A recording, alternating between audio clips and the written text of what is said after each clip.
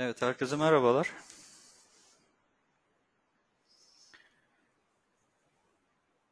İsmim Ayhan Göksu. Şimdi bugün sizlere kriyoparametrikle ilgili bazı kullanım ipuçları vereceğiz. İşte bilmediğiniz yollar olabilir. Kullanıcıların işini kolaylaştıracak yöntemler olabilir. Bunlardan bahsedeceğiz.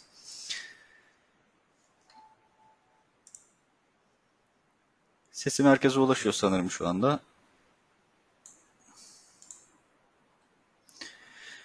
Şimdi bugün nelerden bahsedeceğimize bir göz atacak olursak önce Creo'nun real-time render özelliğine değineceğiz. Yani Creo'da işte render modülünüz olmayabilir elinizde. Yani yüksek çözünürlüklü render ihtiyacınız da olmayabilir. Peki e, standart paketteki Creo ile ekrandaki görüntüyü nasıl gerçekçi bir hale dönüştürürüz? Sahne ayarlamalarını nasıl yaparız? Bunlara değineceğiz.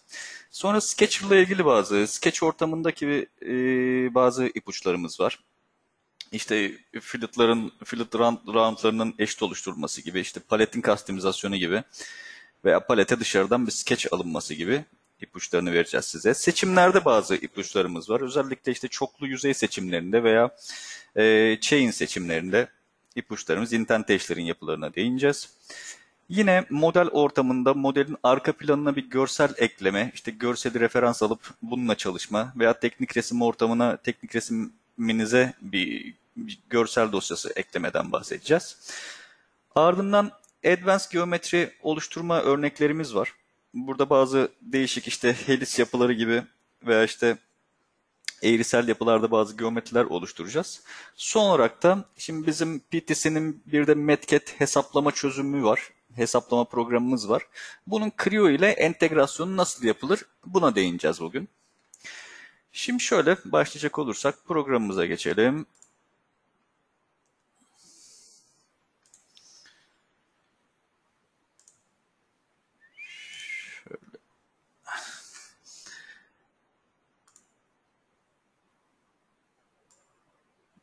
Aşağıya alalım şunu. Şimdi örneklerimizi Creo 5 üzerinden gerçekleştireceğiz. Şöyle ben Appearance'ımı bir değiştireyim 2 dakika. Interface'im dark olsun. Real Time Render özelliğimizle başlayalım. Örneğimizi açıyorum. Şimdi Creo'nun Real-time render özelliğini çalıştırmak için normalde grafik olarak görüyoruz. Nedir? Shading with Edges modunda görüyoruz.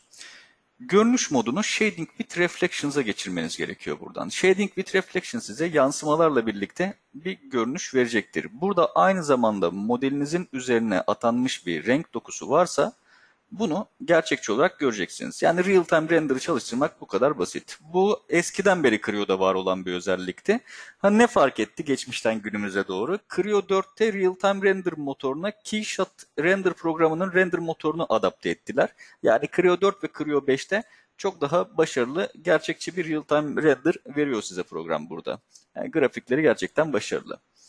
Ha burada model display'i daha etkili bir şekilde görmek istiyorsanız çünkü körlerinizde yamulma olabilir display ayarlarınızdan dolayı. Eğer öyle bir ekran ayarı yapmak isterseniz Options Model Display'e gelip Shade Quality'ye ya 10'a kadar yükseltebilirsiniz. Şimdi bazı kullanıcılarda görüyoruz bunu dönem dönem. Shade Quality'ye 10 ya da 15 yapıp her zaman bu şekilde kullanıyorlar. Bunu bu kadar yüksek değerlerde kullanmanızı tavsiye etmiyorum. Şundan dolayı etmiyorum. Shade quality'yi ne kadar yükseltirseniz grafikleriniz o derece yorulur ekranda. Aynı zamanda modelinizi, datanızı kaydettiğinizde diskte kapladığı yerde bir o kadar artar. Bunun ideal çalışma seviyesi 3 ya da 5'tir. Ama işte şu anda yaptığımız gibi bir render işlemi yapıyorsunuz. İşte güzel bir görsel ayarlıyorsunuz. Bu 10, 15, 20'ye kadar yükseltilebilir. Ama konfime kaydetmiyorum bunu bakın. Şöyle bakın körler düzeltti zaten kendini. Daha düzgün geçişler görüyorum körler üzerinde. Dedik ki real time render motorunu çalıştırmak için görünüş modunu shading with edges değil shading with reflections yapmanız gerekli. Peki burada önemli olan ne? Bunu çalıştırdık. Sonrasında ne yapacağız? Creo'nun Appearance galerisini kullanacağız. Appearance Gallery'yi de şimdi My Appearances'tan kullanmıyorum. Creo'nun burada Library bölümü var. Library bölümünde bakın malzeme kategorilerine göre ayrılmış renklerim var benim. Mesela herhangi bir renk seçersem sandalyemin şu anda koltuğumun üstünde bir doku atanmış değil. Mesela metallerden örnek vereyim. Diyelim ki işte alüminyum seçtim. Bakın alüminyumun içine geldiğimde de library'de standart alüminyum renkleri var. Mesela döküm dokusunda bir alüminyum rengi. Ya böyle bir alüminyum koltuk olmaz da göstermek için şöyle yapalım. Bakın yansımalarıyla ve dokusuyla beraber alüminyum geldi üzerime. Ekranda görüyorum şu anda. Ha dokuyu nasıl düzenleyeceğiz peki burada? Renk düzenleme moduna giriyorum. Edit Model Appearances'tan. Renk düzenleme şırıngamı, renk alma şırıngamı klikleyip neredeki rengi düzenleyeceksem oraya klikliyorum. Şimdi geldim renk özelliklerimde. Gri rengi değiştirmeyeceğiz. Şimdi texture atanmış değil bir kabartı dokusu atanmış olduğu için bump bölümünde dokunun kast olduğunu göreceğim. Buradan bakın height'ı değiştirebilirsiniz.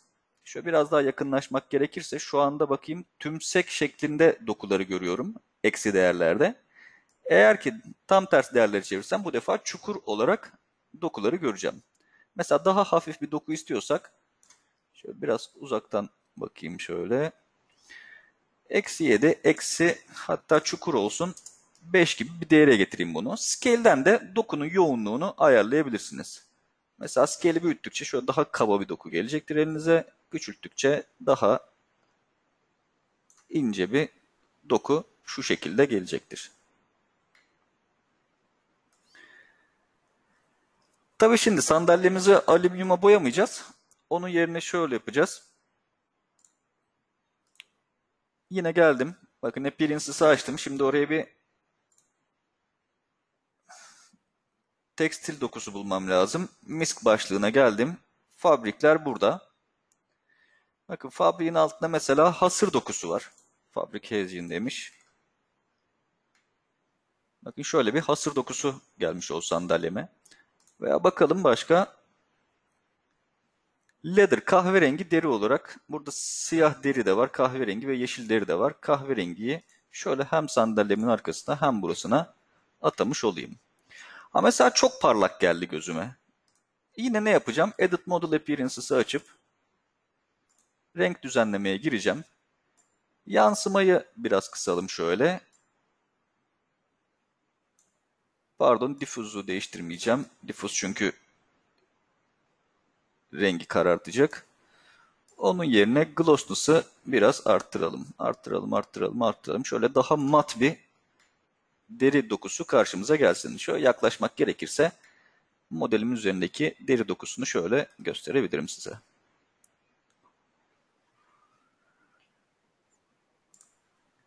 Şimdi renklerin atanması bu şekilde. Burada bulabileceğiniz işte başka kategorilerde gördüğünüzde bunu incelerseniz işte camlar var mesela. Bakın Legacy bunlar standart malzemeler. Metallerde işte alüminyum, işte altın, çelik alaşımları gibi malzemeleri görüyorum.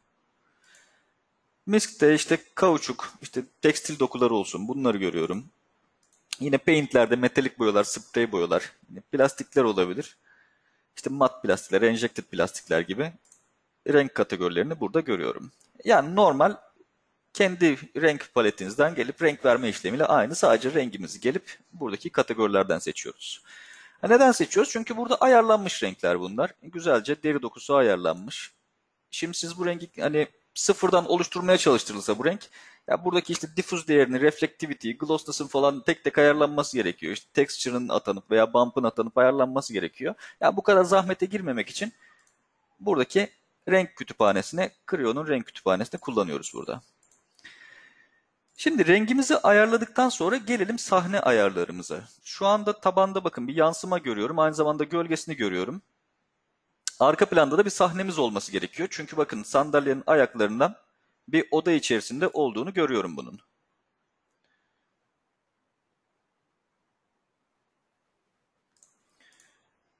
Şimdi sahneyi getirmek için ise şöyle yapıyoruz. Şimdi bu Creo 4'te gelen bir özellik toolbar'ımda. Toolbar'ı isterseniz şöyle yabancı gelmesin size. Normalde üstte görünür. Ben onu alta aldım. Farklı gelmesin. Farklı bir şey yok yani. Creo 4'te arka planı göstermek için Creo 4'te geldi bir özellik bu. Creo 5'te de aynı. Arka planı göster diyoruz burada. Ama arka plan şak diye hemen arkaya gelmez. önce perspektif görünüşü açmanız gerekiyor. Perspektif görünüşü kapatırsanız ki perspektif görünüşü hemen model sekmesi altında göreceğim burada. Veya view sekmesi altında da perspektif view olarak göreceğim. Perspektif görünüşü açmanız gerekiyor. Perspektif görünüşünüz kapalı olursa sahne arka planı açık olsa da sahne arka planını size göstermez. Orada ilave seçeneğim Ambient Occlusion var. İlave gölgelendirmeleri de ekleyebilir üzerine. Şimdi gelelim sahne ayarlarını nerede bulacağız? Şimdi Creo 3'te burada bir render sekmesi vardı. Onu Creo 4'te değiştirdiler. Render sekmesi yani render modülle ilgili tüm işlemleri Render Studio'nun altına aldılar. Ama burası render modülünüz varsa açılacak. Render modülünüz yoksa nereden yapacağız bu sahne ayarlarını? View sekmesinin altında Scenes'i göreceksiniz. Appearance da var bakın burada aynı şekilde. Scene'e girip başka sahneler seçebilirim. Ha Edit Scene dedikten sonra da seçilebilir farklı sahneler. Burada da aynı yer açılacak. Mesela şöyle çift klik dedim. Bir sokak ortasına yerleştirebilirim bunu. Şöyle bir dükkanımız var. Dükkana yerleştirebiliriz atölyeye. Tekrar biz şu toplantı salonumuzu açalım. Geldim Environment sekmesine. Döndürmek istiyorum mesela bakın. Rotate seçeneğinden sahneyi modelin etrafında döndürebiliyorum. Diyelim ki şöyle çevirdim. Yüksekliğini azaltabilirim. Çok büyük duruyor sandalye mesela. Biraz aşağıya indirip sandalyeyi şöyle biraz zoomlayalım. Daha ideal boyutlara getirmiş olduk. Veya başka ne olabilir? Ortam işte ışığını arttırmak istiyorsunuz. Intensity'yi değiştirebilirsiniz buradan. Veya renk sıcaklığına müdahale etmek istiyorsunuz. Saturation ayarları var burada. İşte daha siyah beyaz soğuk renkler siyah beyaza kadar gider. Veya arttırırsanız daha sıcak renkler elde edersiniz. Yine zeminde yansıma görünüyor. Mesela zemini bu kadar parlak istemiyorsunuzdur. Reflection'ı hemen buradan kapatabilirsiniz ground efektlerde. Yine gölge görünsün görünmesin onu da buradan açıp kapatabilirsiniz. Gölgemiz kalsın şu anda. Ama gölge şu an çok keskin. Şimdi gölge ışıkla ilgili bir konu olduğu için ışıklar sekmesine geçiyorum buradan. Lights'a geldim. Bakın 3 tane default atanmış ışığım var. Baktım Enable Shadows default distance'da açık. Distant 1'de kapalı, Distant 2'de kapalı. O zaman açık olan Default Distant'a geldim. Enable Shadows evet yine açık kalsın ama gölgeyi biraz yumuşatalım. Şöyle 20 gibi bir değere getiriyorum bakın. Veya biraz daha yumuşatalım. 30 olarak kalsın. Gölge ile ilgili işlemler de buradan yapılabilir.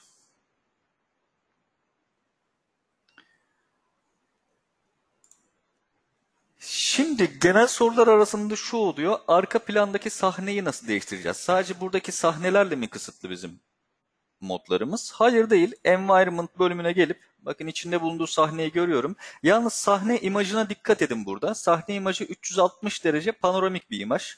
Yani bunu modelin etrafına sardığında bu program 360 derece bir mekan içerisindeymiş gibi hissiyatı veriyor size. Ya buraya gelip iki boyutlu yani düz bir fotoğraf yerleştirirseniz olmayacaktır. Aynı şeyi vermeyecektir. Sündürecektir zaten resme. O yüzden burada seçeceğiniz imaj dosyaları da işte render'a uygun HDR uzantılı HDR formatında görseller olmalı. Eğer varsa o şekilde bir görseliniz şurada mesela workshop'u göstereyim. İmajlar hep bu şekildedir bakın. Panoramik imajlardır. Bunları buradan gösterip modelinize çağırabilirsiniz. Peki iki boyutlu bir imaj eklemek istiyorsanız arkaya. Şimdi iki boyutlu imaj eklenmek isteniyorsa arkaya o zaman 360 derece bir mekan içerisinde olmayacak demektir bu model. O zaman background sekmesine geliyorum. Background'da environment'ı değil göstereceğim imaj dosyasını göster diyorum. Yine imaj dosyası buraya kliklenip işte bilgisayarınızda varsa bir imaj dosyası mesela burada bir tane sinüs eğrisi varmış. Birazdan kullanacağız bunu. Şöyle onun önüne getirdim. Ve istemiyorsunuz renk göster diyebilirsiniz. Kliklenip renk paletinden arka plan rengi ayarlanabilir.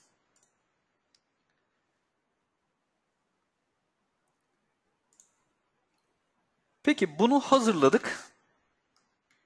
Ekran görüntüsü olarak kaydetmek istiyoruz. Şimdi direkt print screen ile ekranda ekran görüntüsü de alabilirsiniz. Hatta şöyle tam ekran moduna geçip buradan print screen yaptırabilirim bunu. Ha print screen tabii şöyle bir şey var. Hani ekran çözünürlüğü ne kadar verecektir bana? Kullandığım monitörümün ekran çözünürlüğü ne kadarsa ki şu anda benim 1366-768 olması gerekiyor. O kadarlık bir çözünürlük verecektir bana. Eğer ki başta söylediğimiz gibi işte daha yüksek çözünürlüklü bir çıktı almak istiyorsak o zaman render modülünün kullanılması kaçınılmaz. Orada ayarladığınız çözünürlüğe göre çıktığınızı rahatlıkla alabilirsiniz. Veya diyelim ki bunu işte print screen yapmak istemiyorsunuz. TIFF olarak kaydetmek istiyorsunuz. Modeli gelip save save ve copy'den şuradan TIFF seçeneğini seçip mesela desktop'a alalım bir tane. Şöyle DPI'yi arttıralım. İmaj derinliği de 24 bit RGB olsun. Bu şekilde kaydedelim. Kaydettiğini söyledi bana. Bakalım aldığımız çıktıya. Şu şekilde bir çıktı verdi mesela bana.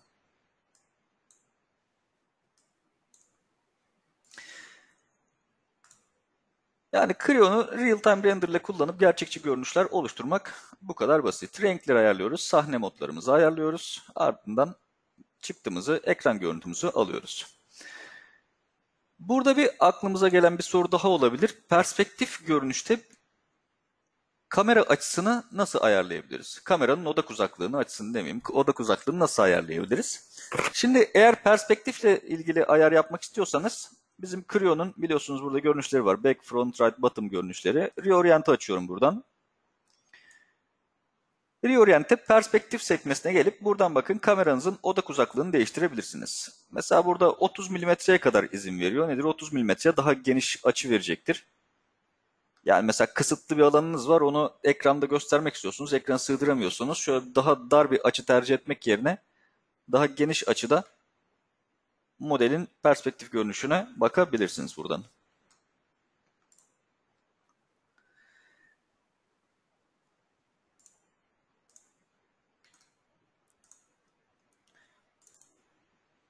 Şimdi gelelim Sketcher konumuza. Şöyle yapalım. Yeni bir model üzerinden gideyim.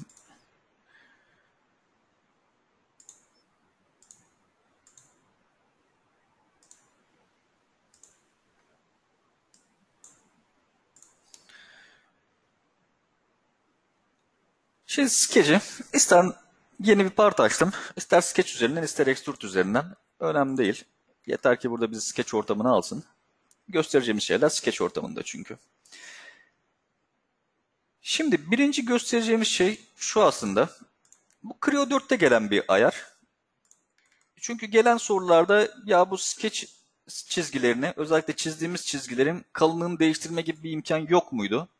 Bununla ilgili gelen sorular vardı. Creo 4'te bununla ilgili bir ayar geldi. Bunu gittiğimiz, ziyaret ettiğimiz müşterilerde de dile getiriyoruz. Creo 4 ya da Creo 5 sunumlarında. Bununla ilgili ayar bakın File Options'ta Sketcher bölümüne geldim. Line Thickness ayarı eklendi buraya. 1 ve 3 arasında değişir. Eğer 1 yaparsam ben bunu yine şu anda Creo 3'te bu şekilde görüyorsunuz mesela. Eski versiyonları kullananlar varsa. Ama daha kalın çizgiler istiyorsanız Sketcher'a geldim. Line Thickness ayarını 3 çok kalın alıyor. Ben şöyle 2.5 olarak tercih ediyorum kullanmayı. Bu şekilde biraz daha kalın çizgiler veriyor bana.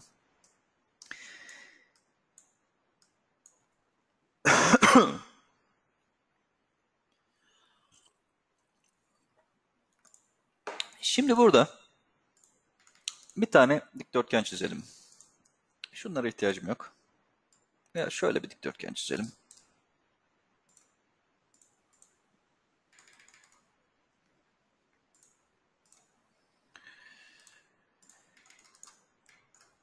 Şimdi özellikle sketchlerde round verirken kullanılan bir ipucu göstereceğim burada size. Şimdi burada round tiplerinde circular ve circular trim var. Circular trim'i kullanırken özellikle, circular'da meydana gelmez bir yapı çünkü. Circular trim'i kullanırken birbirine eşit roundlar oluşturmak istiyorum diyelim. Mesela birinci roundum, ikinci roundum, üçüncü roundumu oluşturdum. Şimdi bunları işte yapmak için genellikle ne yapılıyor? İşte round oluşturulması bitirildikten sonra, mouse orta tuşa kliklendikten sonra işte eşittir denilip round geometrileri tek tek seçilip eşitlenebiliyor. Şimdi göstereceğimiz bu değil tabii ki de. Bunun daha hızlı bir yöntemi var bilmeyenler için. Geldim yine. Circular trim. Roundlarımı oluşturuyorum yine. Oluşturduktan sonra mouse orta tuşa klikliyorum. Dikkat edin bakın round parçaları highlight olarak yeşil yanıyor şu anda. Şimdi tekrar boşa kliklersem yeşili kaydederim veya bir kere daha orta tuş yaparsam o yeşilliği kaybederim. Yani roundları verdiniz bir kere orta tuş yaptınız bu yeşiller bu şekilde görünecektir. Bunlar görünürken sağ tuşu basılı tutup menüyü açıyorum. Equal diyorum. Tekrar diyorum bakın bu işlemi nasıl olduğunu. Circular trim dedim. Vereceğim radyusları verdim. Sol klik ile son radyusu da verdim. Orta tuş yaptım. Bakın roundlar highlight olarak yanıyor. Sağ tuştan menüyü açıp equal olacaklar diyorum. Ardından tek bir ölçüyü değiştirdiğinde birbirine eşit roundlar elde etmiş olacağım burada.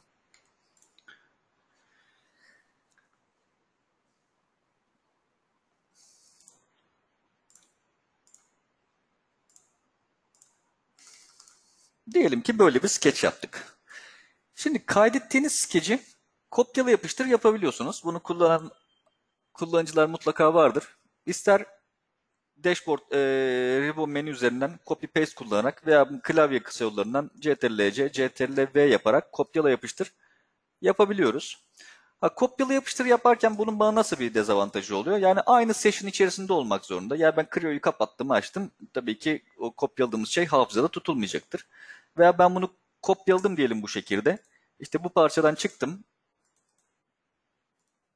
Erase not displayed yaptım. İşte farklı bir parça oluşturuyorum. Burada ihtiyacım oldu extrude yaparken diyelim. Yapıştır dedim buraya. Bakın Clio'yu kapatmadığım sürece o sketch hafızada tutulmaya devam eder. Eğer ki scale'ini 1 yaparsanız kopyaladığınız değer neyse, kopyaladığınız ölçüler neyse o ölçülerde karşınıza gelip oturur sketch. Ya da diyelim ki anlık kopyala yapıştır olarak değil, işte bir sketch hazırladınız, bunu size çok daha sonraları e, bu sketch'e ihtiyaç duyacağınızı hissettiniz. O zaman sketch'inizi bakın, sketch'i okeylemeden bu aşamada save as, save ve copy diyerek klasörlerinize herhangi bir yere kaydedebiliyorsunuz. Mesela desktop'a yeni bir klasör açayım şöyle. Sketch save diyeyim ismine.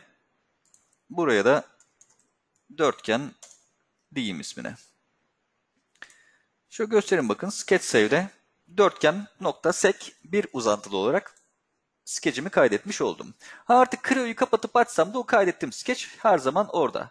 Yani diyelim ben bunu sildim. Bununla çalışmıyorum. Yine farklı bir parça. Farklı bir günde farklı bir parça diyelim. Aynı skece ihtiyacım oldu. Buzu da nasıl çağıracağım? Ribbon menüden gelip File sisteme klikliyorum. File sistemden skecimi nereye kaydettiysem desktop'ımda Sketch Save klasörüne kaydetmiştim ben. Çift klik ile buradan alıp ekrana klikleyip getiriyorum skecimi. Yine scale'ini 1 yaparsanız bunun kaydettiğiniz ölçülerde karşınıza gelir. Ha peki burada şu var. File sistemde yalnızca sketch dosyalarını mı çağırabiliriz? Hayır, file sistemde DXF ya da DVG'deki dosyalarınızda hatta bakın Illustrator dosyaları da var burada. Vektörel çizimleriniz varsa Illustrator'da onları da çağırabilirsiniz. Mesela bir DVG dosyasından bir DVG dosyası çağırayım. Şöyle all files diyeyim hepsini göstersin. Mesela rastgele şöyle bir tane DVG çağırayım. Şimdi kullandığınız DVG'deki eğer çizgi parçaları çok fazlaysa o zaman karşınıza şu import warning çıkar. Yani proceed deyip hepsini buraya getir diyebilirsiniz. Veya ben seçeceğim de diyebilirsiniz. Mesela şöyle bir sketch getirdi karşıma. Yani büyük ihtimal çok fazla curve olduğu için küçük küçük entity'lerden oluştuğundan dolayı o uyarıyı verdi bana. Seçip OK dedim. Ekran klikleyip bakın. DVG çizimimi skecime dahil ettim. Şöyle ortaladım. Ölçü değiştireceksem tekrar değiştirebilirim. Şurada constraint'ler birazcık fazla gözümü alıyor. Onları kapatabiliriz buradan görünümünü. Ölçü düzenleyecekseniz düzenleyebilirsiniz. Düzenlemeyecekseniz OK deyip mesela bir extrude demiştik en son. Bundan bir extrude yapabiliriz.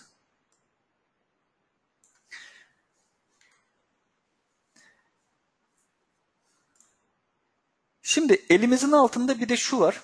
Sketch ortamında.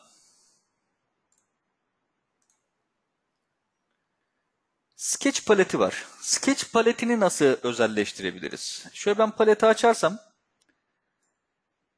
Mesela bende şöyle farklı sekmeler olduğunu göreceksiniz. Paleti daha önce kullananlar bu ortamı bilecek, tanıyacaktır. Bakın Creo profiller 1, profiller 2 diye farklı farklı kategorilere ayırdım. Şimdi bu yapıyı nasıl kurgulayabiliyoruz? Şimdi bu yapıyı kurgulamak için de bu config ayarlarınızda olabilir. Config ayarlarınızın yanında olabilir. Mesela benim config ayarlarım nerededir? İşte D klasörünün altında PTC'de benim config ayarlarım ben burada tutuyorum. Work klasörü altında. Library'de paletim var benim. Bakın az önce gördüğünüz sekmeler buradan geliyor. DVG kesitlerinde gelmez. DVG kesitlerinin içi gelmez. Creo profiller birden 6'ya kadar burada geliyor. Program arayüzünden de gösterelim yapıyor. Palete girdim. Bakın Creo profiller 1, 2, 3, 4, 5, 6 şeklinde buraya geliyor bu klasörler. Şimdi bu yapı şu şekilde sağlanıyor. Diyelim ki bu şekilde skeçlerinizi elde ettiniz. Sketchleri bu defa Creo Sketch olarak kaydetmem gerekiyor bunları. Mesela desktop'ta bir klasörü açmıştık az önce Sketch Save diye. Onu da bir alt klasörünü oluşturayım buraya. İşte palet 1 diyeyim.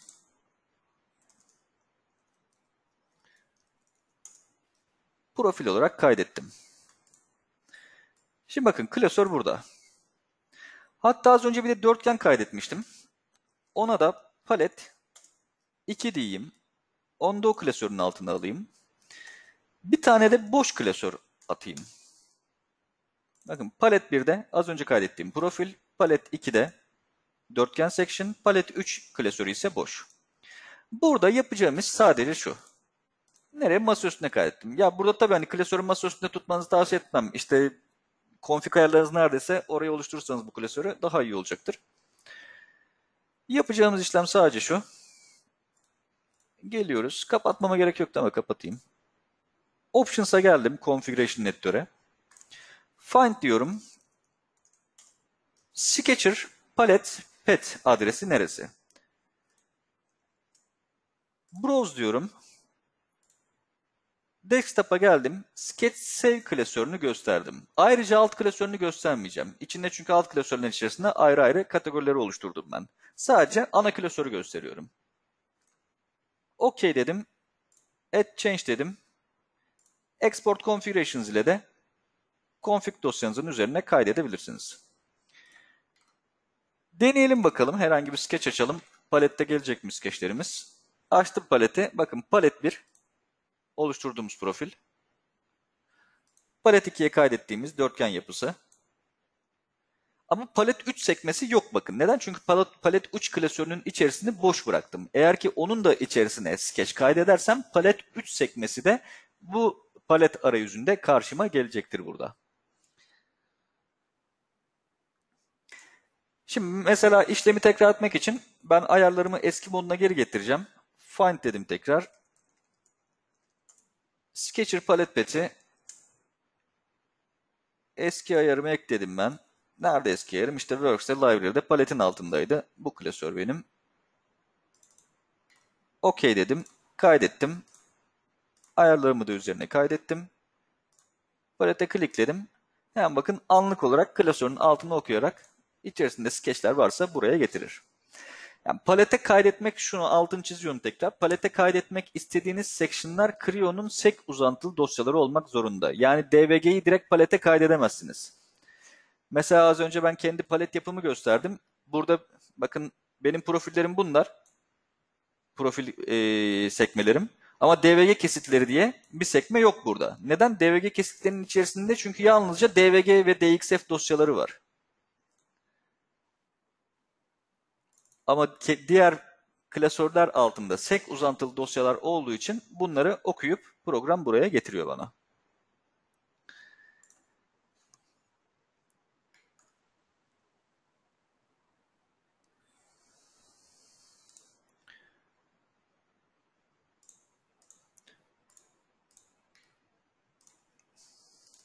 Şöyle selection'a gelelim. Chain'i açalım. Şimdi burada selection yapısına geçmeden önce bir şunu söylemek istiyorum. Şu Creo'nun kenarları seçtikten sonra veya geometrileri seçtikten sonra şu highlight yapma özelliğinde bir gizli config opsiyonu var. Yani gizli config opsiyonu nedir?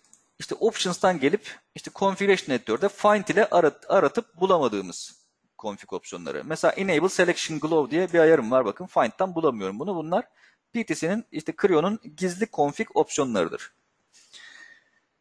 Et diyerek eklemem gerekiyor bunu.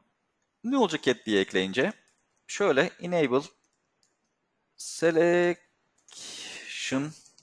glow değerinde yes yap dedim. Bakalım listemize eklemiş mi? Enable Selection Glow. Kaydettim Config Pro'mun üzerine. Config Pro'yu export ettirdim tekrar. Bakın seçimlerden sonra biraz daha böyle işte yanarlı dönerli seçimler istiyorsanız daha parlak highlight yapıları istiyorsanız şöyle parlak ve yanış şekli sağlayacaktır size. İsteğinize göre bazı kullanıcıların hoşuna gidiyor. Bazı kullanıcıların hoşuna gitmiyor. Şahsen benim mesela gözlerimi karıştırıyor. Ben çok tercih etmiyorum ama hoşuna gidip bu şekilde kullanan kullanıcılarımız da var. Şimdi burada şunu söyleyelim. Seçim mantığında, şimdi chain seçimleri, chain seçiminin bir kısmını biliyoruz aslında. Sweep ile uğraşan kullanıcılar oluyor. Yani ne de sweep rotası seçerken bir yerden bir yere kadar rotayı seçiyorsunuz mesela. O gibi durumlarda Shift ile seçim mantığı kullanılıyoruz. Şimdi Shift ile seçim mantığında neler var? Önce bir seçmek istediğimiz kenarı. Seçmek istediğim kenar şu. Şimdi bu kenar hangi yüzeylerle ilişkili? Bir sol taraftaki bu yüzeyle ilişkili. Bir de üst kısımdaki bu yüzeyle ilişkili.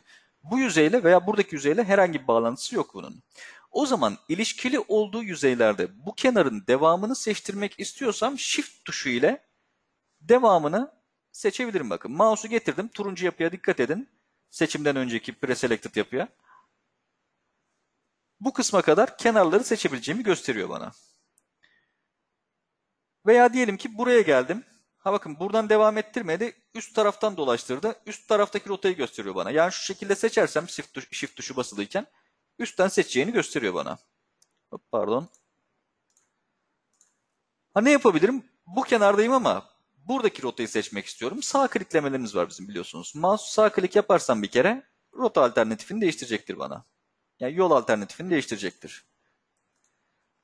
Burada özellikle bilmeyen kullanıcılar için biraz el alışkanlığı gerektirebilir bu. El alışkanlığı kazanmanız gerekebilir. Mouse'u çünkü oynatmamanız gerekiyor. Mesela bakın sağ klik yaptım. Yol alternatifini bu tarafa değiştirdi ama henüz seçmedim. Mouse'u oynatırsam seçimi kaybederim. Mouse'u oynatmamak gerekir. Sağ klik yaptım. Shift'i seçtim. Veya bakın yine bu kenarı seçmiştim. Şu yüzeyle de ilişkili olduğunu söylemiştim. Bastım Shift tuşuna. Bakın bu kenar üzerine geldim. Aşağıdaki yolu gösteriyor bana. Bir sağ klik yaptım. Yukarıdan geçen rotayı gösteriyor. Veya çepeçevre seçeceğim. Hiç sağ klikle falan uğraşmaya gerek yok. Yüzey parçasının üzerine gelirseniz Shift tuşu basılıyken direkt zaten orayı o yüzeyle ilişkili bütün kenarları seçtirecektir size. Aynı şekilde burada da Shift'i basıp üst yüzeyi seçerseniz tüm kenar zincirini seçtirecektir. Şimdi bu yapıda dediğim gibi ilişkili yüzeylerin kenar zincirini seçtirir bu yapı. Yani burada şu şekilde bir seçim olmaz. Mesela bu yüzeyle bir ilişkisi var mı bunun? Yok. Yani shift'e ben basayım. Böyle dolansın bir de buraya insin yok. Veya buraya bastım. Buraya bastım. Burayı seçtim ya da. Şimdi burayı seçeyim. Bu gelsin. Buradan dolansın. Böyle dönsün. Bir de buradaki yapıya tamamlasın. Böyle bir şey olmaz arkadaşlar. İlişkili yüzeyleri neyse onunla ilgili chain'i devam ettirir. İlişkisiz yüzeylerle herhangi bir bağlantı yapmaz arada. Ha, ne yapmak gerekir? O zaman da eğer öyle bir yapı hakikaten seçmeniz gerekiyorsa Shift tuşu ile tek tek seçerek gitmeniz gerekiyor.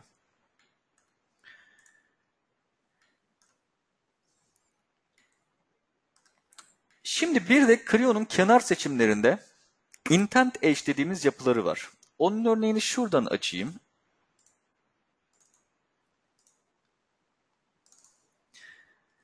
Mesela şöyle basitçe bir örnek hazırladım. Intent Edge unsurun kenar yönlerini göz önünde bulundurur. Yani ne demek unsurun kenar yönleri? Bu bir extrude unsuru.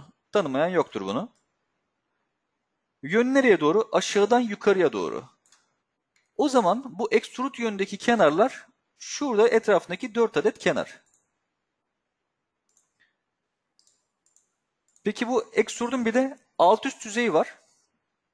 Ona da üst yüzey kenarları diyelim. Şuradaki kenarlar. Bir de bunun taban yüzey kenarları var. Onlar da şuradaki kenarlar. Şimdi intent yapısı nasıl seçilir? Özellikle round vereceğiniz zaman. Mesela bunun dik olan extrude yönündeki tüm kenarlarına aynı round'u vereceğim ben. Round unsuruna ister öncesine ister sonrasına klikleyin. Çok önemli değil. Geldim kenarın üzerine. Bakın seçimden önce program size söylüyor zaten. Şu anda Extrude 2'ye ait Edge'i seçmek üzeresin diyor. Eğer orada beklerken bir kere sağ klik yaparsanız bakın şu anda Extrude 2'nin Intent Edge yapısını seçiyorsun diyor. Sol klik ile o yöndeki tüm kenarları seçtirebilirsiniz. Burada unsurun illaki extrude olması şart değil. Dediğim gibi unsur yönünü göz önünde bulundurur. Mesela burada bir swap blend unsur da var. Bu blend de olabilirdi, sweep de olabilirdi. Yönü nasıl bunun bakın böyle gidiyor. O zaman geldim işte round vereceğim yine en çok roundlarda kullanıyoruz çünkü bunu. Tek bir kenar değil dikkat edin. Kenar üzerinde bekliyorum. Bir sağ klik yaptım. Şu anda intent edge yapısını gösteriyor. Sol klik ile tüm kenarları tek seferde seçtirtebilirim bu şekilde. Şimdi intent edge yapısına yapının alt ve üst yüzeyleri de girer demiştik. O da şöyle. Mesela bakın bunun çepeçevre dört kenarına round vereceksiniz. Şimdi normal ne yapmak gerekir? Burada round olmadığı için yani geçişler sürekli olmadığı için bu roundları CTRL tuşu ile tek tek seçmek gerekir. Böyle yapmak yerine ben şöyle yapıyorum. Kenar üzerine geliyorum. Edge değil bir sağ klik yaptım. Bakın Extrude'un tabanındaki Intent Edge'i seç diyorum. Ve OK deyip round'umu veriyorum. İşlem bu kadar basit. Sadece sağ klik ile seçim alternatifini değiştiriyorum. Şimdi intent age'in bana şöyle bir avantajı da oluyor. Mesela şurada bir extrude yapısı var. Aşağıya çıkmış mesela. Şimdi normalde ben bunu aşağıya ve yukarıya aynı roundları vereceksem CTRL tuşu ile seçtiğimde tek tek artık bu beşgense altta beşgen var, üstte beşgen var. 10 kere seçim yapmam gerekir. Onun yerine ben şöyle yapıyorum bakın. Round'a geldim. Aynı extrude unsur çünkü. Aşağıya da çıkıyor. Unsuru şöyle göstereyim size.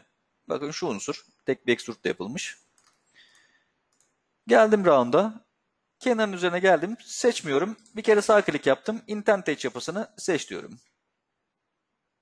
Bakın alta ve üstte tüm roundları vermiş oldum burada. Şöyle iki yapayım hatta. Yine aynı round'u şu tabana da vereyim. Hatta aynı set altında olmasın. Farklı bir set yapalım onu. 2 değil 1 olsun. Şimdi intent bana şöyle bir avantajı da var.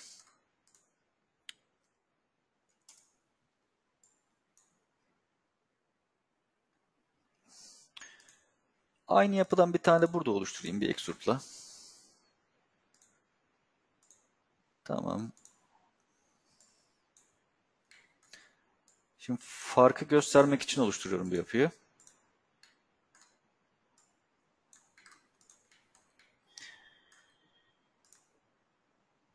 Şimdi normal klasik yöntemlerle yani intent kullanmadan geldim burada 5 tane round oluşturdum.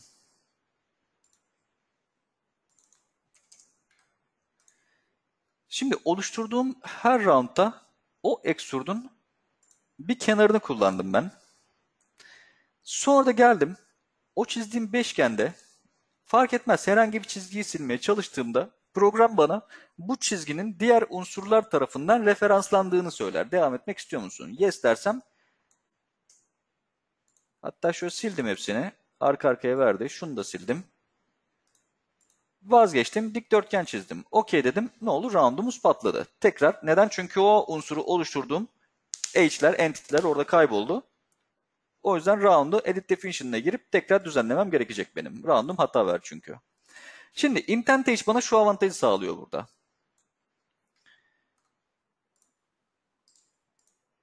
Round dedim. Intent verdim. Fark etmez tabanına da verelim hatta şöyle.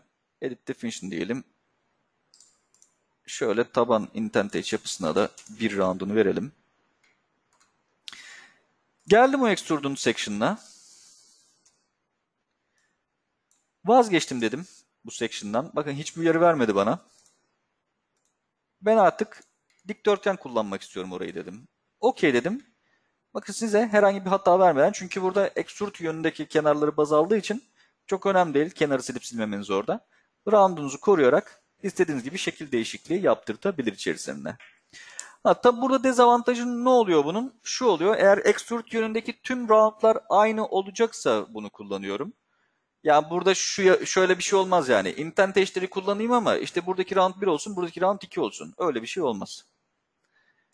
Aynı roundları, o yönde aynı roundları kullanacaksak indentation yapısını kullanabiliriz. Amaç da bu zaten. Şimdi seçim mantığında chain seçimini söyledik. Bir de şunu söyleyelim. Yüzey seçimlerinde mesela nasıl yüzey seçimi olabilir? Diyelim ki şöyle önce basit bir örnek üzerinde anlatalım bunu. Şuradaki çıkıntı yapısı diyelim. Şimdi bu yapının ben kaç tane yüzeyi var? 1, 2, 3 tane yüzeyi var. Şimdi ben bu şekilde bir seçim yapmak istemiyorum. Yani ne yaptım? Bir buradan seçtim, bir buraya klikledim, bir buradan seçtim. Üç kere klikleme yapmak istemiyorum. Bunun yerine tek hamlede bunun ilişkili tüm yüzeylerini seçmek istiyorum. Bunu şu şekilde kullanabilirsiniz. Burada şunu analiz etmek gerekiyor önce. Seçeceğim yüzeyleri ayıran bir sınır yüzey var mı? Şimdi seçeceğim yüzeyleri gördünüz az önce. Buradaki çıkıntıya ait şu yüzeyler. Bunu diğer yapıdan ayıran sınır yüzey neresidir? Şu taban yüzeydir değil mi? O zaman bunu göz önünde bulundurarak şöyle yapıyorum. Önce seçmek istediğim geometri üzerinden bir yüzeye klikliyorum. Ardından klavyeden Shift tuşuna basıp ayırıcı yüzeyimi seçiyorum ve Shift'i bırakıyorum. Bu sayede bakın bütün yüzeyleri seçmiş oluyorum.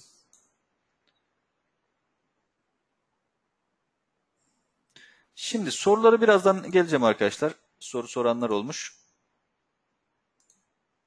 Onlara birazdan bakacağız.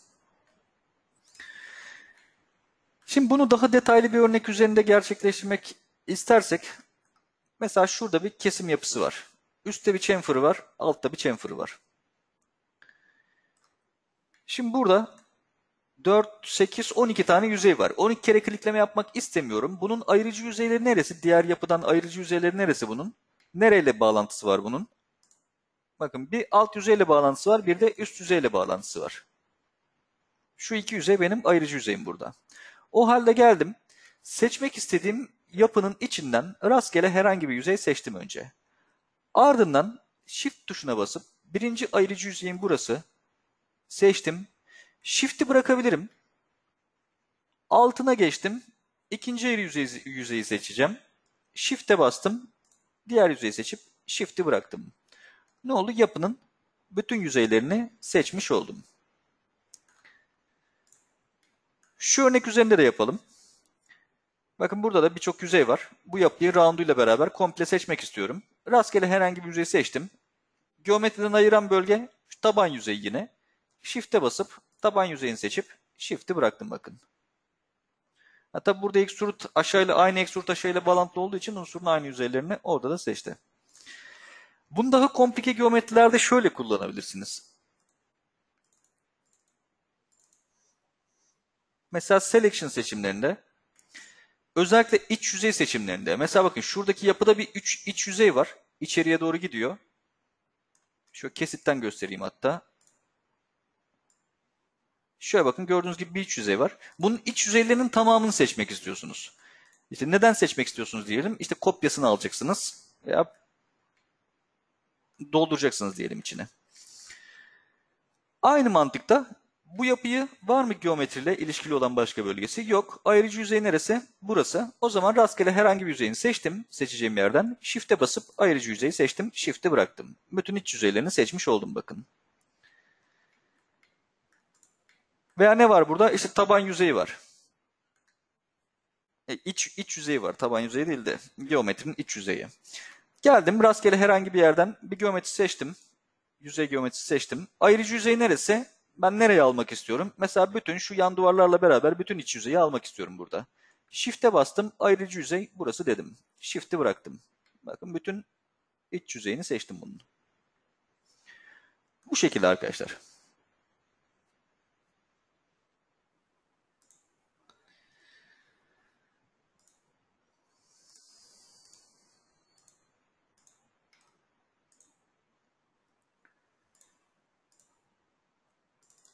Şimdi image import. Working directory yapalım. Şimdi image import belirttiğimiz gibi modelinizde çalışıyorsunuz. Arka planda referans olarak kullanmak istediğiniz bir görsel dosyası var. Bir model değil bakın bir görsel dosyası. Göstereyim almak istediğim görsel dosyasını. Buraya almak istediğim görsel dosyasını. Şöyle BMP uzantılı bir dosya bakın. Yandan görünüşü. Mesela diyelim işte elde bir eskiz, eskiz çalışması geçti elinize. Veya işte endüstriyel tasarımcınıza bir eskiz çalışması yaptırdınız. Ona uygun yüzeyler örmek istiyorsunuz. Görseli referans olarak arka planda kullanabilirsiniz. Bu işlemi nasıl yapıyoruz burada? Geliyorum bakın Model Display menüsünde. Bu montajda Model Display menüsünde buradan da olabilir. Veya Part'ta da yapabilirsiniz aynı işlemi. Herhangi bir şey fark etmiyor. View sekmesinde Model Display'de Images olarak burada göreceksiniz bakın. Şimdi ben montajın arka planını alacağım. Model Display Images'e geldim. Import alacağım diyorum. Şöyle Plain Display'i de açayım. Import al dedim. Yan görünüş olduğu için front düzlem uygun dedim bunun için ve yan görünüşü çift klikleyip burada görsel formatlarına bakalım. Bakın görsel formatlarını işte BNP, PNG, TIFF gibi, JPEG gibi birçok formatı görsel formatını destekliyor burada. Görünüşümü aldım. Şöyle yandan dik bakayım. Görünüşü nasıl ayarlayacağım şimdi modelin üzerine göre? Şimdi ayarlamak için iki yöntemim var. Birinci yöntemim şu. Şimdi bakın bu görselin bir merkezi var. Neye göre merkezi? Bunu büyütüp küçültüyorsunuz bakın. Nereden büyütüp küçülüyor? merkezden büyülüp küçülüyor. Şurada bir noktacık var. Bu noktacığı farklı köşelere çekerseniz bakın merkezi, görselin merkezini oraya taşımış olursunuz. Büyütüp küçültürken orayı sabitler. Yani ben şöyle yapabilirim o zaman. O noktacığı şuraya sabitleyeyim. Ve ben o sabit noktanın bakın şu bölge olduğunu görüyorum burada. Üst üste yerleştirdim. Sonra da göz kararı büyütüp görselimi arka plana koymuş oldum.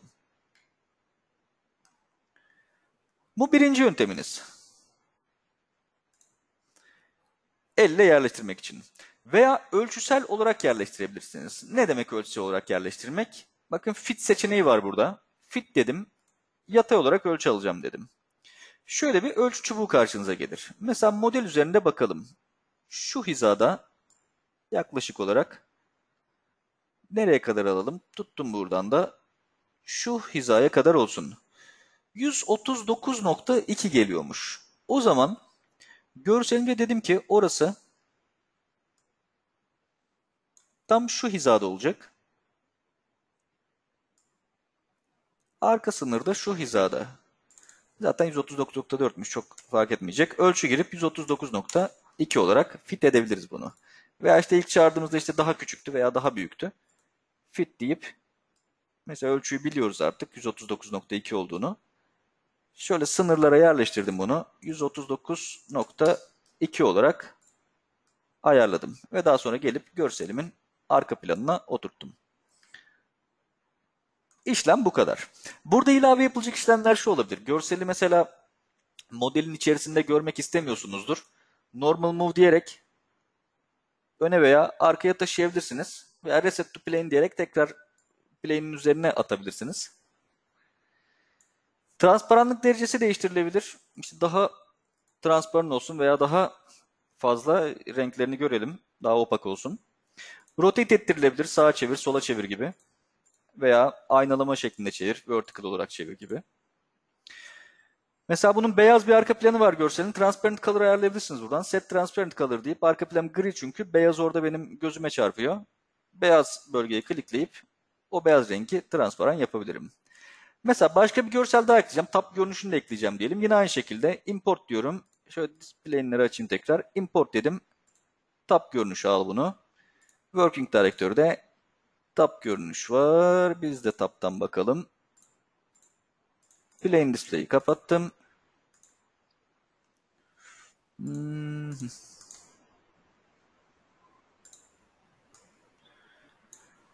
Ne yapacağım? Şöyle döndüreceğim. 90 derece böyle çevir. Vertical yatıralım. Daha sonra da fit edeceğim bunu. Yine fit etmek için seçenekleri göstermiştik. İster el ile işte görselin merkezini ayarlayarak göz kararı veya isterseniz ölçü aldıysanız ölçüye bağlı olarak görseli fit ettirebilirsiniz. Yine normal move ile de altına veya üstüne çıkartılabilir. Transparent color'ı da belirleyelim. İşleminiz bu kadar. Peki bunlar böyle kaldı. Bunları gizlemek için ne yapacağız? Yine Images'tan eklediğimiz için bunları, bunların kontrollerini de yine Images'tan sağlayacağız. Klikledim Images'a. Görsellerim burada bakın. Ekrandan da seçebilirsiniz. Seçtim görseli hide dedim. Burayı seçtim hide dedim. Yok unhide edeceğim.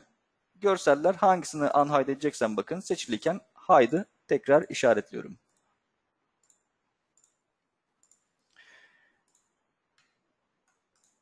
Şimdi aynı yapının teknik resimde de kullanılışı var. Orada da şöyle teknik resmi açalım.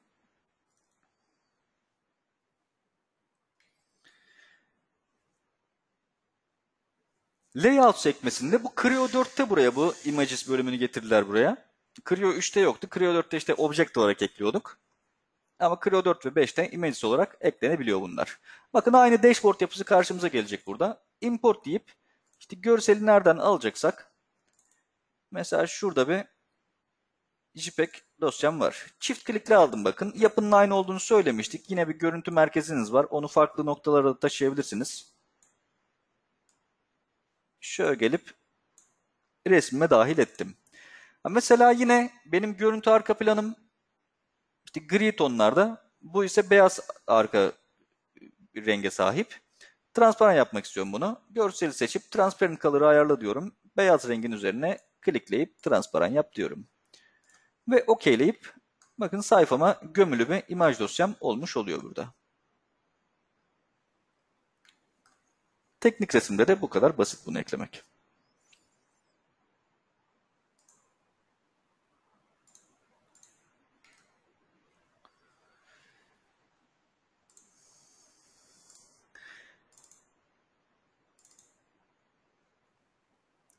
Şimdi şöyle bir montajımız var. Bu gelen sorular arasındaydı. O yüzden bu webinara dahil ettik bunu. Kaynaklı bir montaj yapım var bakın. Yani kaynaklı montaj yapısı ne demek? Creo'nun işte welding modülünden model üzerine işlenmiş kaynak yapıları. Şurada bakın kaynak unsurlarını göreceksiniz bakın.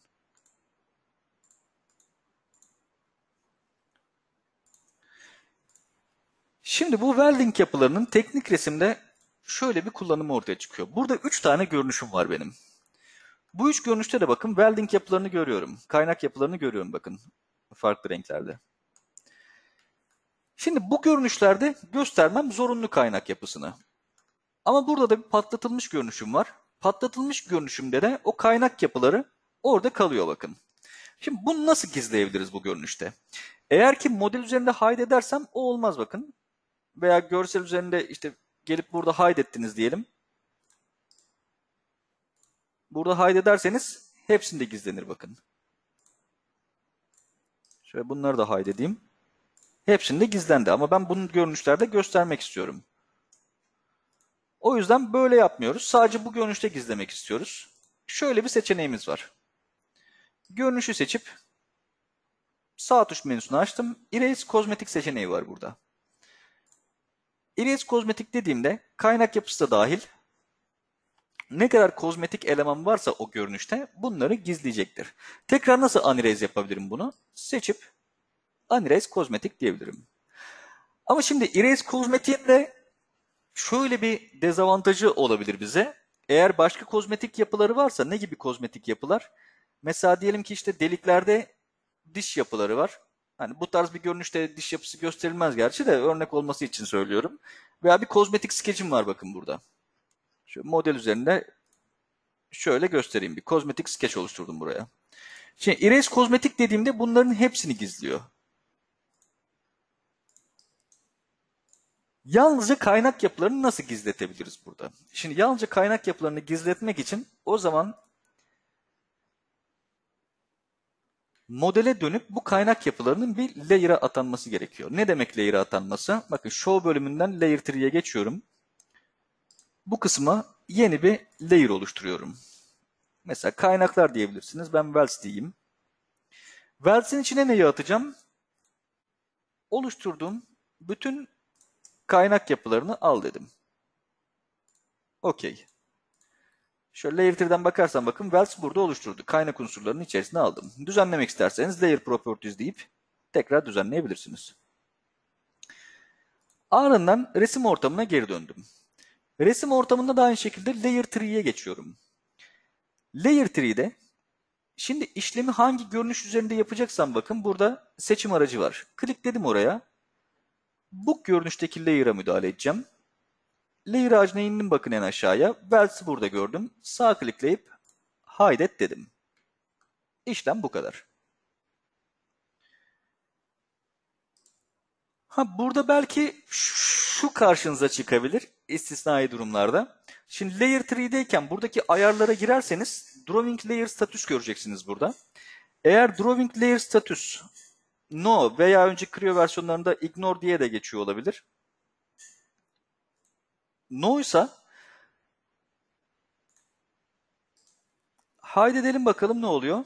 Bakın model üzerindeki layer yapısı neyse hepsini hide ediyor. Yani burada hide ettiğimde 3 boyutlu model üzerinde de bunlar hide olmuş olur. Yani 3 boyutlu modelle ilişkili oluyor. Ama ben diyorum ki burada eğer böyle bir şey karşınıza geldi. Yani nedir? Görünüşü geldim, görünüşü seçtim. İyi tamam güzel. İşte Wells'i hide edeyim buradan. Aa hepsini hide etti. Dediğimizde hemen Model 3'ye geçmeden yani Model 3'ye buradan geçmeden Model 3'ye geçersem Drawing Layer status ayarını göremem çünkü. Layer 3'ye geldim. Drawing Layer status ayarını açtım. Buna yes diyorum. Ne diyor? Common layers is controlled separately in drawing. Teknik resimde ayrı olarak kontrol edildiğini söylüyor bana.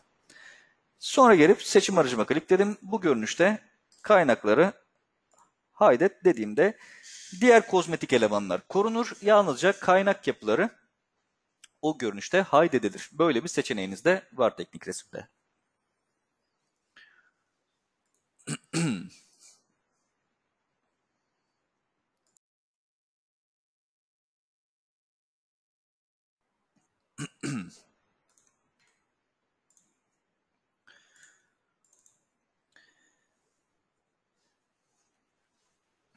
Şimdi advanced örneklere geldik. Şimdi şurada bazı yapılar var. Ne tarz yapılar oluşturacağımızı önce bir göstereyim.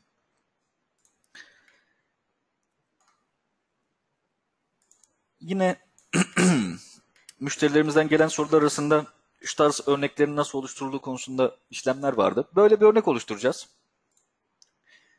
Aynı şekilde aynı yapı üzerine gırtlak borusu dediğimiz işte lavaboların altında görürsünüz veya işte su tahliye hortumları olabilir. Onlar da görürsünüz. Gırtlak borusu oluşturacağız.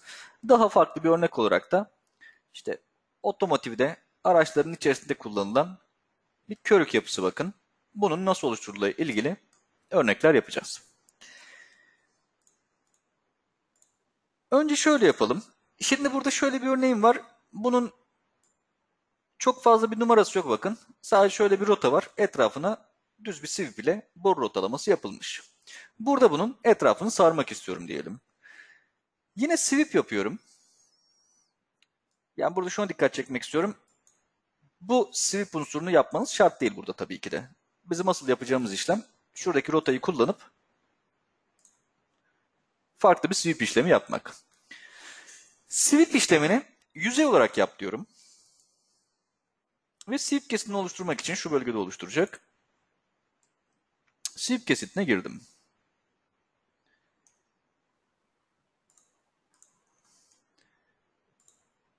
Şöyle bir line çizdim.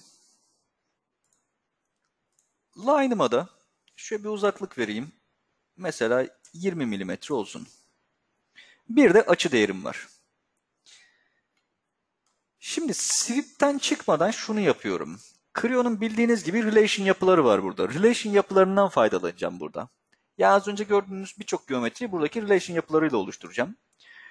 Ve bu relation yapısında benim bu tarz geometrilerde en sık başvuracağım geometri tipi ise e, fonksiyon tipi ise trash bar fonksiyon dediğimiz fonksiyon. Bakın relation'da fx'i açarsanız buradan trash bar olarak burada göreceksiniz. Trash bar fonksiyonu ne yapar? Trash bar fonksiyonu 0 ile 1 arasında değişken değerler alır. Yani ne demek 0 ile 1 arasında değişken değerler alması? Bu en temelde bir kullanımını şöyle açıklayalım önce.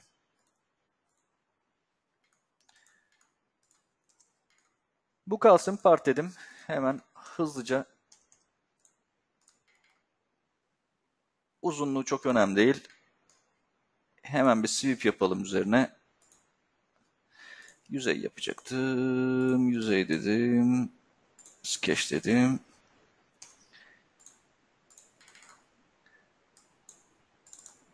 Diyelim ki buradaki 20 uzunluğu. Şimdi bu 20 uzunluğunu ben sweep yaparsam ne olur? 20 uzunluğu rotanın başından sonuna kadar 20 olarak sweep yapılır. Ama ben şöyle dersem Trashbar dedik ki 0 ile 1 arasında değişken değerler alacaktır.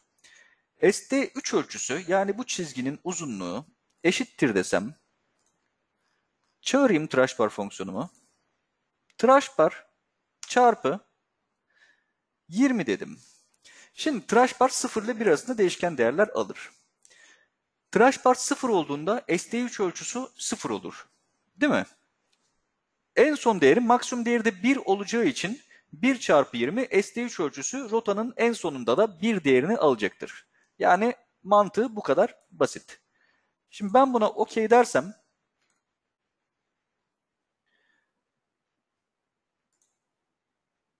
ST3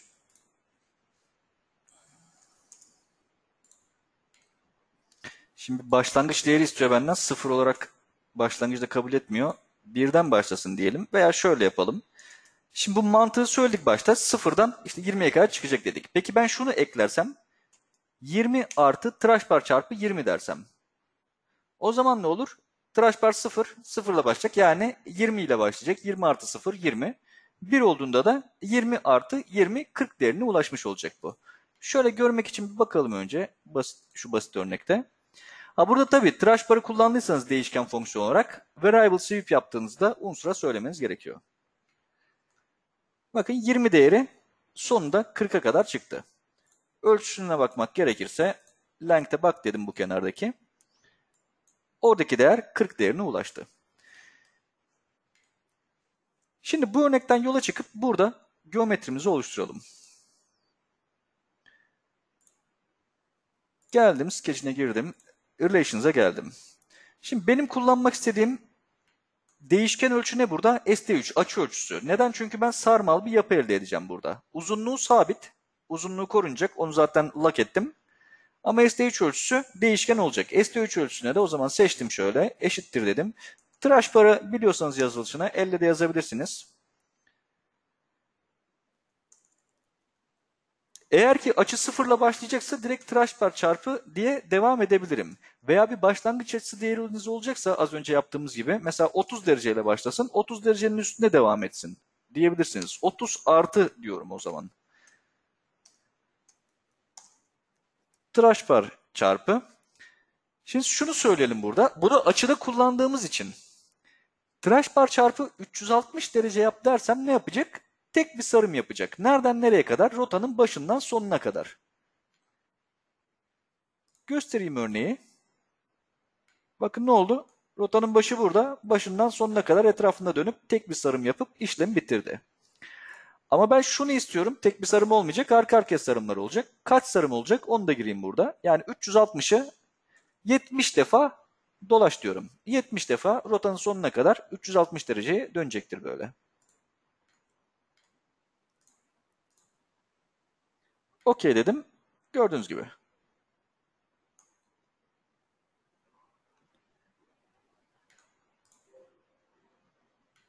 Ha ne yapılır? Boyu biraz uzun kaldı mesela. Boyunu kısaltabiliriz.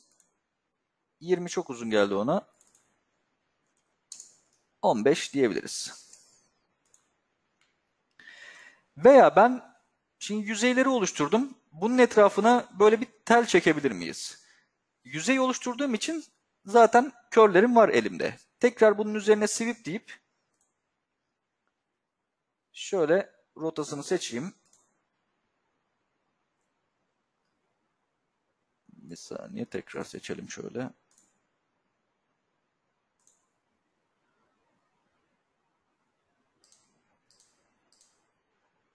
Şöyle çepeçevre bütün rotayı seçtim.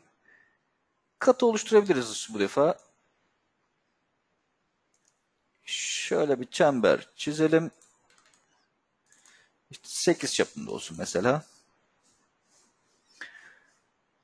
OK dedikten sonra telini etrafına sarmış oldum. Sweep de onu sadece yardımcı olarak kullandık orada. Trash bar fonksiyonu oluşturduk. Sweep de hide ederek şöyle kullandım. Başka ne şekilde oluşturabiliriz bu yapıyı? İşte gırtlak borusu örneğini verdik mesela. O zaman şöyle yapalım. Şu sweep 2, sweep 3'ü sileyim. Hatta sweep 1'i de silelim. Sadece rotamız kalsın elimizde. Çünkü bir hortum oluşturacağız. Rotayı seçtim. Yüzey yapacağım dedim. Sketch'e girdim. Bu defa bir çember çiziyorum. Çember çizdiğimde boru olarak dümdüz dolaşacak. Onu hepimiz biliyoruz.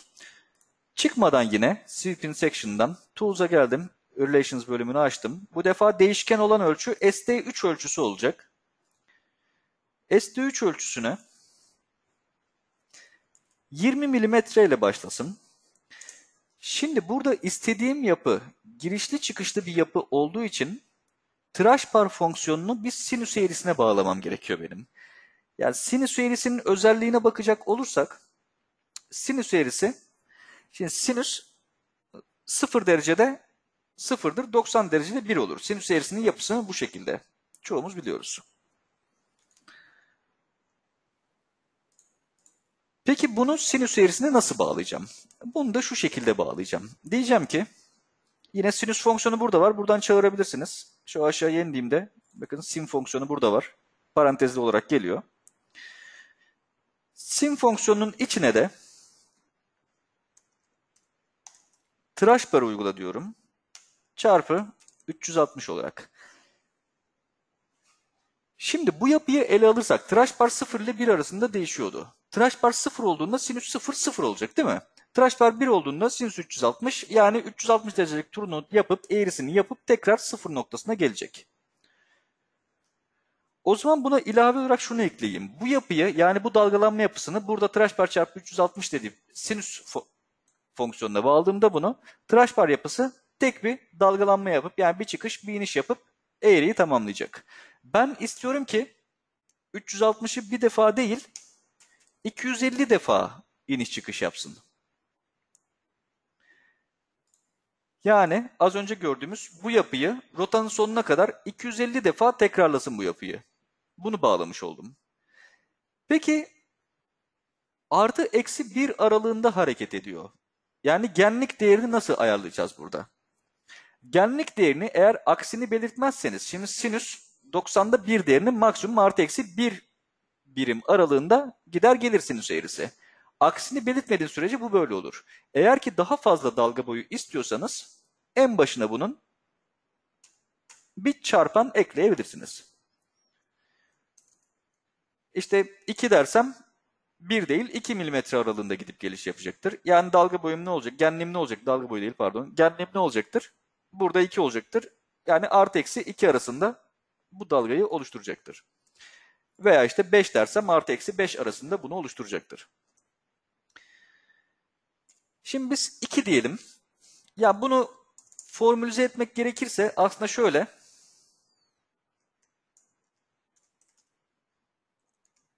Değişken ölçü başına şöyle böyle yıldız koyalım işlemi almasın. Değişken ölçü eşittir dedim.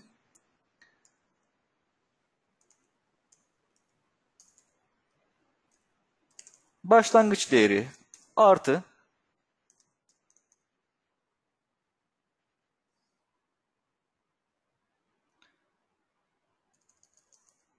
Hı 2 dedik. Genlik değeri dedik. Çarpı sinüs eğrisi. Tıraş bar çarpı 360 çarpı dalga sayısı. Eğer işlem formülize edersek işlem bu şekilde. Şimdi örneğimizin sonucunu bir görelim. Ne elde ettik ona bir bakalım.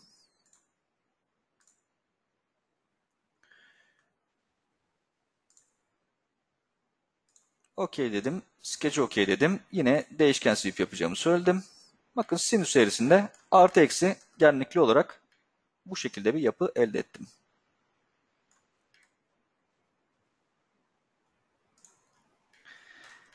Veya değerlerle oynayalım biraz mesela.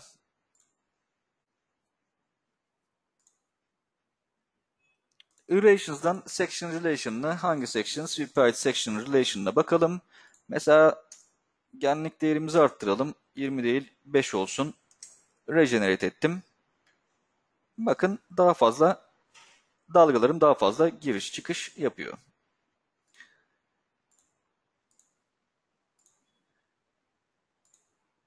Veya bunu tekrar 2'ye getirelim. Sarımı işte 250 değil de daha az yapsaydık ne olurdu? 100 yaptım diyelim. 100 yapsam ne olurdu? Regenerate ettim. Daha az dalga sayısı olan bir hortum elde etmiş olurdum bu şekilde. Şimdi biraz daha farklı bir örneğe geçelim. Yine benzer bir yapıda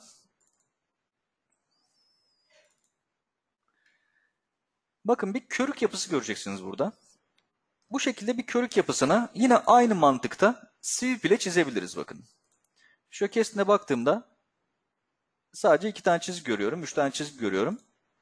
Ama oluşan yapıya baktığımda yukarı doğru daralan bir dalga yapısı görüyorum. Şu şekilde oluşturalım bunu.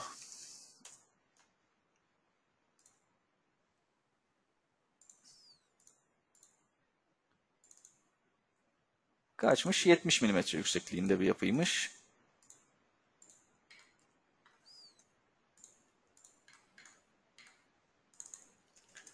Önemli değil. Biz 100 mm yapalım.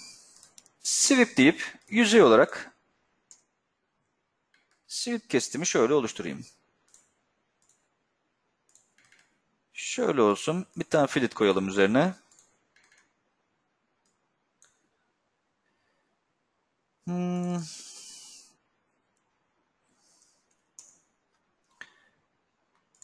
Yirmi olsun, otuz olsun. R'miz on beş olsun. Şimdi düz bir sweep yapısı. Bunu istemiyoruz. Burada bazı değişkenler uygulayacağız. Geldim tekrar sweeping kesimindeyken relations'ı açtım. Önce ST7 ölçüsü. Neyi belirliyor ST7 ölçüsü? Şu çizginin merkezden uzaklığını belirliyor. Al dedim o zaman ST7 ölçüsünü. İlk başlangıç değerimiz 30 tanımlamıştık. 30 olsun o zaman başlangıç değerimiz. Dalga boyum pardon genliğim 2 olsun. Aynı formülizasyonu buraya uyguluyorum bakın. Tıraş per çarpı 360'ı 10 tane dalga yap bana diyorum. Bir bakıyorum ne elde ettim. Değişken olacağını söyledim. Bakın ST7 ölçüsünü değişken dalga boylu olarak buraya uyguladı. Ha, radyus da onunla bağlantılı olduğu için radyus da bozmadı. İşleme dahil etti bakın. Ama buralarda sıfıra geldiği için değer yüzeyler orada değiştiriyor yüzeyi. Şimdi aynı işlemi 20 ölçüsü için de yapacağım burada. H dedim relation'ı. SD6 ölçüsü de yukarıdaki değeri kopyalayabilirim şöyle. Kopyala yapıştır dedim. 30'da başlamasın. 20 mm ile başlasın.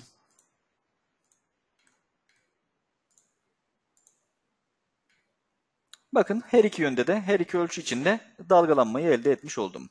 Ha, burada hep sinüs kullanıyoruz ama kosinüs kullansak ne olur? Kosinüs kullansak sadece eğrinin başlangıç konumu değişir.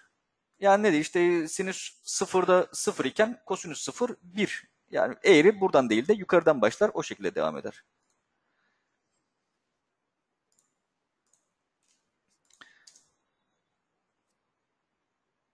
Şimdi yalnız şunu istiyorum. Körüğüm yani dümdüz bir şekilde çıkmasın yukarıya. Yukarıya doğru daralsın istiyorum yapı. Daralan bir yapı sergilesin istiyorum. O zaman ilave olarak ölçülere şunu ekliyorum. Şimdi artı dersem toplar genişleyerek gider. O zaman artı değil ölçüden azalarak gitsin. Tıraş bar çarpı 20 gitsin. Yani ilk değerim şu ara kısmın ara kısmı sadece dalgalanma formu için kullandım ben bunun hiç olmadığını farz ediyorum. Yani direkt şöyle yazsaydım ne olurdu? 30 ile başlayacaktı değerim. Tıraş par çarpı 20. En sonunda 10'a düşecekti. Araya sadece dalgalanma formunu ekledim. Aynı şekilde 20 ne olsun? Eksi tıraş par çarpı 10 diyelim. Ne burada da yukarıdaki değer 10'a düşecektir. Yani en sonda rotanın en sonunda 10 onluk bir geometri elde edeceğiz gibi görünüyor. Ha, ama burada şu anda şu karşımıza çıktı. Radyusumuz biraz büyük. Radyüste çünkü herhangi bir değişken değeri vermedik. Radyus olduğu gibi yukarıya 15'te çıkmaya çalışıyor. O da yukarıya doğru daralsın istiyoruz. O zaman o da bir değişkenlik ekleyeceğiz burada ile. Sen de gel radyus ölçüsü. Radyusumuzun ilk değeri 15'ti. Switch Dimensions'dan bakabilirsiniz bakın burada. 15'ti. 15 değeri azalsın üzerinden tıraş par çarpı 10 desin. Yani yukarıda 5'e düşsün bu değer. Okey dedim. Şöyle baktığımda bakın şu şekilde bir form elde etmiş oldum. Ha boyu 70. Boyunu kısaltabiliriz. Pardon 100 yapmıştık boyunu. 100 değil de 70 olsun boyu. Şöyle daha kısa bir boy elde edebiliriz. Formunuz bozulmayacaktır. Buradan sonra ne yapılır? Buradan sonra artık yüzey yaptığımız için klasik yüzey modelleme işlemlerimiz. İşte mirror yap dedim. Mesela aynı şekilde bunları da mirror'la sonra bunları merge'le ve tek parça tek yüzey haline getir.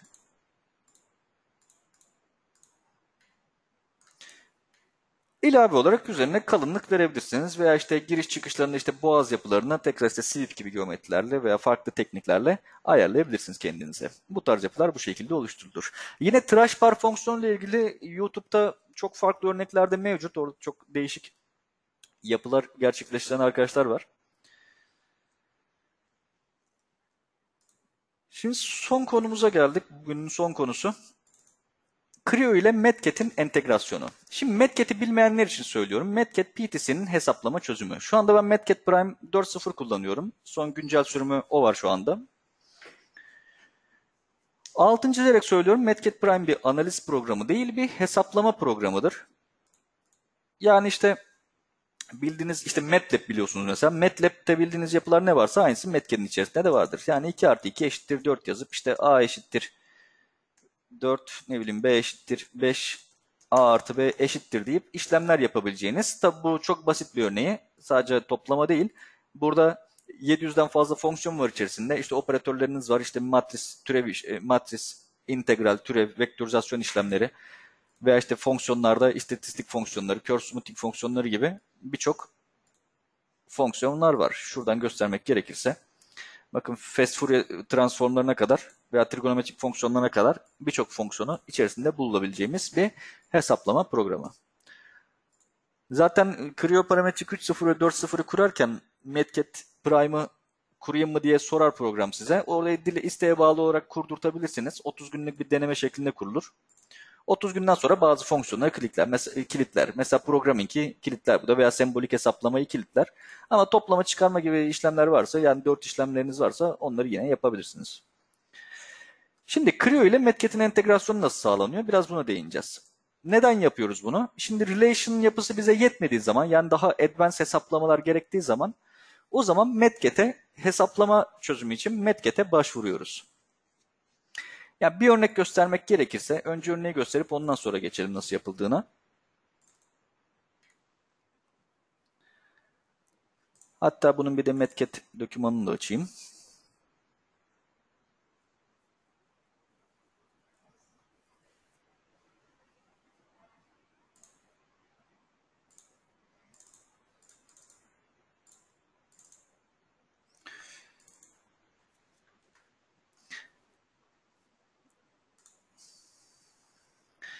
Bakın bir kavrama modeli. Mesela bunu nasıl bir hesaplama yapılmış? Annotation olarak üzerine düşülmüş. Burada input değer olarak 750 Nm tork giriliyor üzerine. Buna göre Medcat'te bir hesaplama yapılmış. Bakın burada input değerlerine baktığımda input değer olarak 650 kalmış en son burada. Buradaki input değerini alıyor. Yani Creo'dan girdiğiniz input değerini Metcat buraya çekiyor. Creo buraya çekiyor. Ara işlemleri gerçekleştiriyor. Bir solver olarak kullanıyor yani Metcat'i. Ardından kaç tane plate yapısı elde edecekse bunu bana çözümünü veriyor. Yani mesela şurada hesaplamayı şu anda birbirinden etkilenmeyecektir hesaplamalar kaydetmediğim için. Diyelim ki 400 Nm tork istiyorum. Bakayım 400 Nm torka göre 3 tane plate yapısı elde ediyormuşum. Bakayım program bunu bana sağlayacak mı? Geldim input torque olarak şöyle annotation'dan çift klik yaptım. 400 Newtonmetreyi gir dedim. Regenerate ediyorum.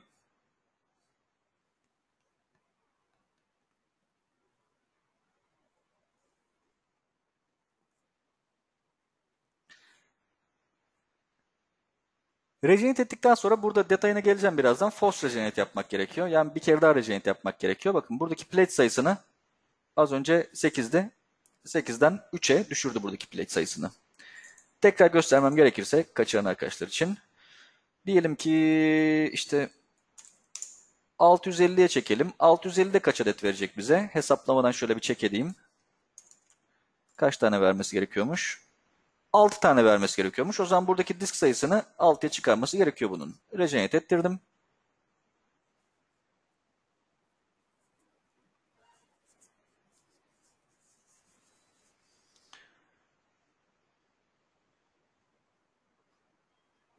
Ardından bir kere daha regenerate ettirdim. Bakın disk sayısı 6'ya çıktı. Modülümü de değiştirdi.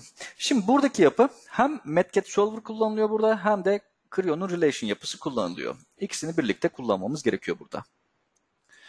Bunun kullanımı ise, şimdi bunu daha basit bir örnekte simüle etmek gerekirse, az önce gösterdiğim örnekte Metcat'i bir solver olarak kullanıyor. Yani bir çözümleyici olarak kullanıyor.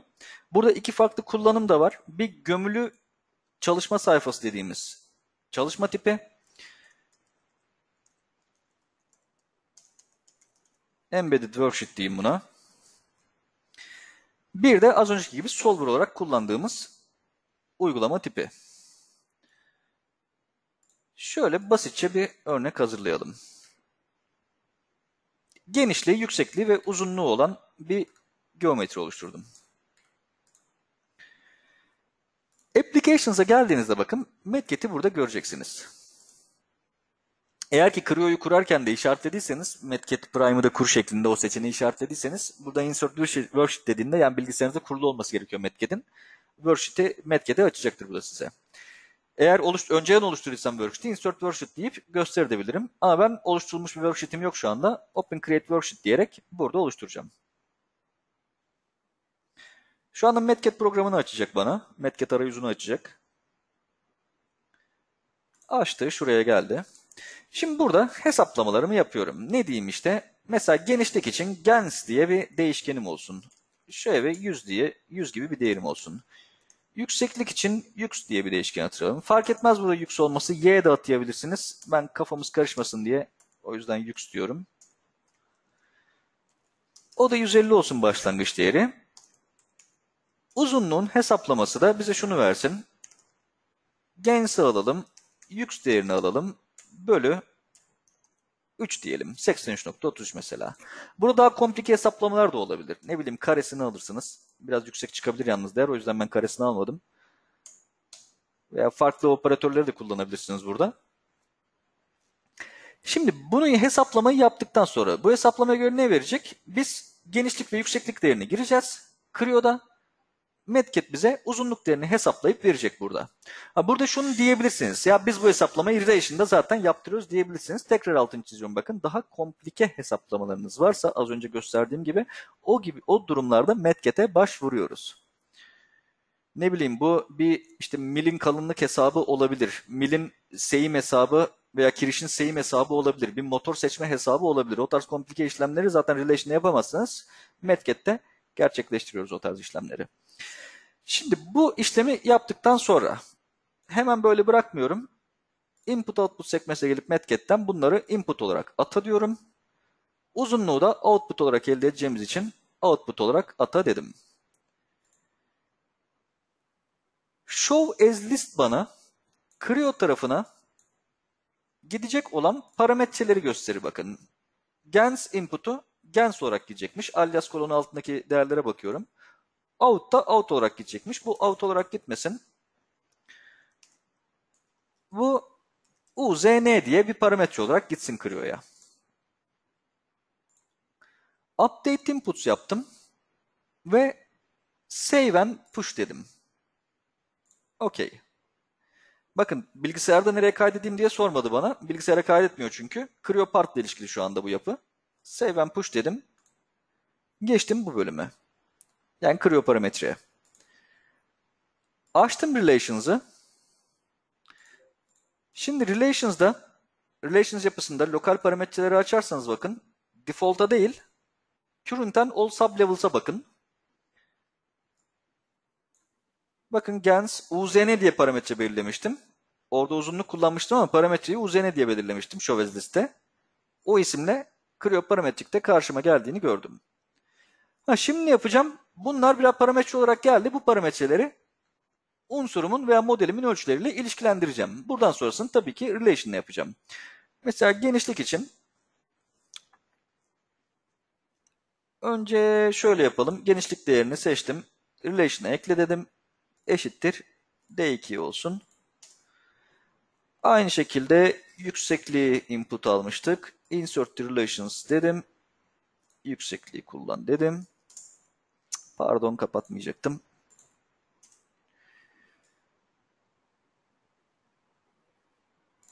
D0'ı da alıp bu da UZN'ye bağlansın. Yani UZN değeri D0'ı değiştirsin dedim.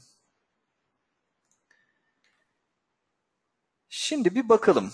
Uzunluk değeri bakın şuradaki değer. Genişlik, yükseklik, uzunluk. Okey dedim. Genişlik değerine giriş yapabiliyorum. Relation'dan o şekilde tanımladım çünkü. Şimdi bazen relation'da da şu yapı meydana gelir. Şimdi eşittir D2 yazdım ben. D2 eşittir dediğinizde o zaman input kabul etmez. İşte ölçünün relation'la sürüldüğünü söyler size aşağıda mesaj ekranı olarak. Ben bilerek burada ölçü girişini sağ tarafa attım burada. Ama D0, D0 ben elle girmeyeceğim. Orada driven edecek şey relation. Bakın aynen şu şekilde D0 uzn metket ile drive ediliyor diye söylüyor bana. Şimdi relation yapısını da kurduk. Ne yaptım? Parametreleri seçip bunları ölçülere bağladım. O zaman tanımlayayım ölçülerimi. Diyeyim ki 320 olsun burası. Atıyorum. 220 olsun. Şimdi bu ölçüyü biz değiştirmeyeceğiz. Bu ölçüyü bize hesaplama sonucu verecek. Hesaplama sonucu da şu şekilde yapmanız gerekiyor. Eğer gömülü worksheetlerle çalışıyorsanız şu anda benim yaptığım gibi 320'ye 220 bakın sağda Medcat ikonunu göreceksiniz. Medcat arka planda kapalı da olabilir önemli değil. Eğer gömülü worksheet yaptıysanız, gömülü worksheet çağırdıysanız buradan Open Create diyerek şu şekilde bir Medcat ikonu görünecek. Klikliyorum oraya. Inputları update et diyorum bakın. Creo'da benim girdiğim input değerlerini çekti buraya. Ve bana sonuç olarak 180 değerini verdi. Uzunluk 180 değerini alacak. Push and save dedim tekrar. Creo'ya geri döndüm. Regenerate ettim. Bakalım 180 değerini aldı mı? Aldı bakın burada. Farklı bir de şekilde tekrar deneyelim. 240 olsun. 257 buçuk olsun. Regenerate ettim. Döndüm worksheet'ime. Inputları update et dedim. Giriş değerlerimi aldı. Zaten hesaplamamı da güncelledi hemen. Push and save deyip diğer tarafa dönüp regenerate ettim. 165.83 olarak karşıma geldi. Şimdi bu yöntemin kendisine göre bazı dezavantajları var. Ne bu dezavantajları? Gömülü worksheet ile çalışmanın dezavantajı. Şu, benim her input girişinden sonra 250 yaptım diyelim. Regenerate ettim. Şimdi notification bana uyarı veriyor zaten. Medcat'in outdate olduğunu, güncellenmediği uyarısını veriyor bana. Benim her input güncellenmesinden sonra gömülü worksheet'i açıp inputları update ettirip push and save ile değerleri geri göndermem gerekiyor.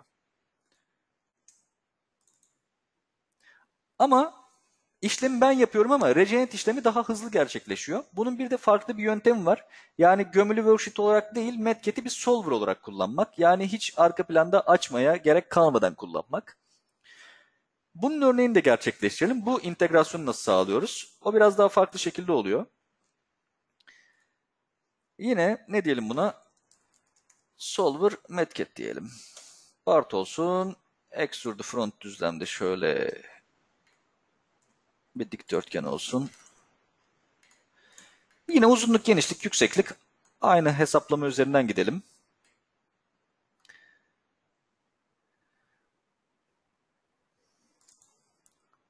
Hatta aynı parametrelerle çalışacağım için önce parametre yapısını oluşturayım burada. Parametreler üzerinden süreceğim çünkü şeyi.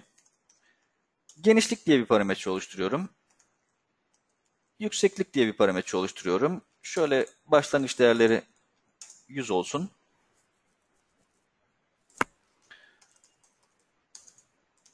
Bir de uzunluk diye bir parametre oluşturayım.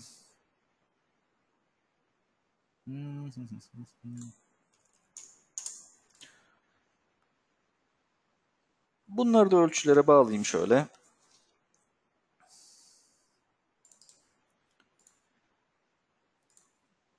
Genişlik eşittir D2 dedim. Pardon. Yükseklik eşittir D1 dedim. Şimdi uzunluk onu hesaplama sonucundan alacağız. Onu şu anda bağlamıyorum ölçüye. Bu şekilde bağlamayacağım. Hatta onu direkt kaldırayım ben buradan. Uzunluğu. Sadece genişlik yükseklik kalsın. Verify edeyim. Bakayım giriş yapabiliyor muyuz? Aynen değerlere giriş yapabiliyoruz şu anda.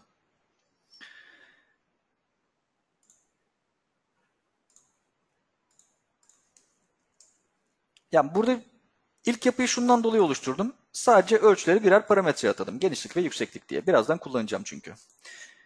Şimdi Metket hiç açık değilse bilgisayarımda gelip masa üstünden kısa yolumu klikleyip Metket programını açıyorum.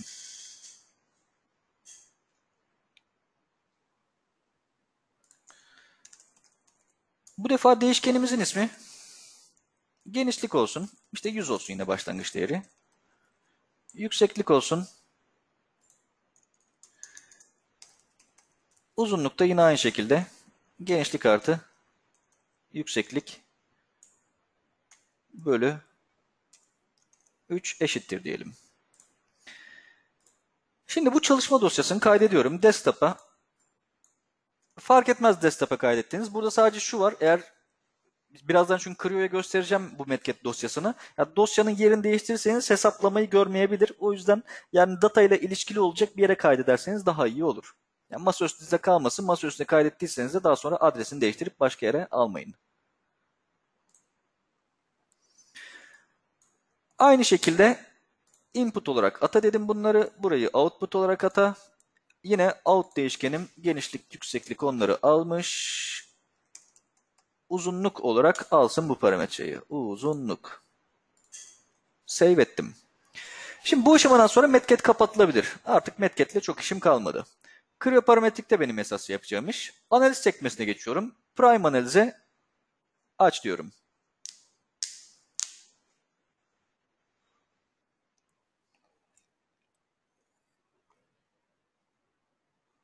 Load file diyerek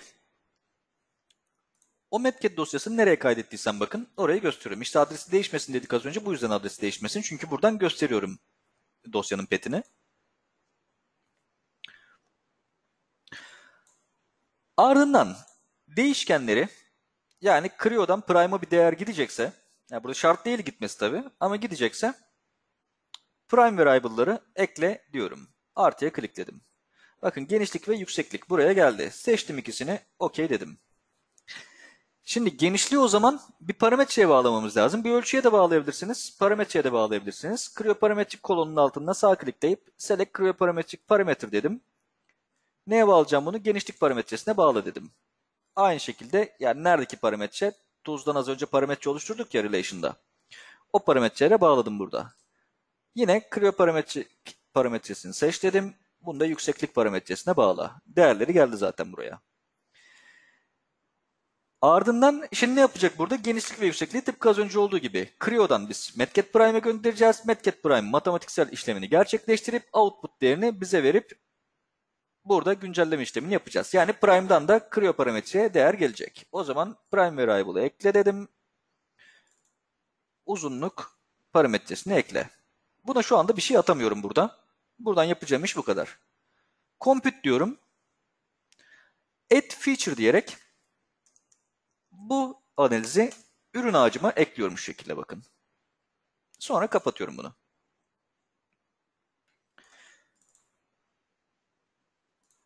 Şimdi relation'da input ve input değerlerim elimde. Bunları genişlik ve yükseklik olarak belirledim buradan.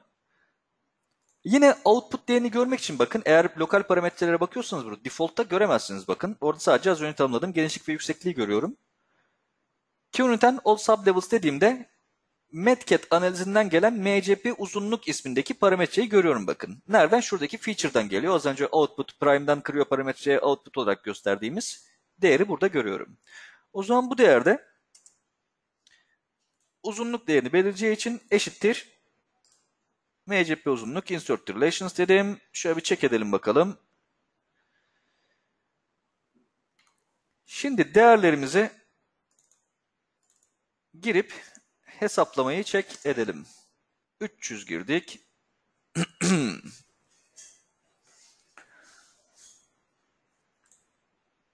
Oradan güncellerken şöyle yapayım. Şimdi burada bunları artık kaydetmediğim sürece burada değişiklik yapabilirim. Çünkü sağlamasını yapacağız işlemin. 300'e 200 girersek ne verecek bize?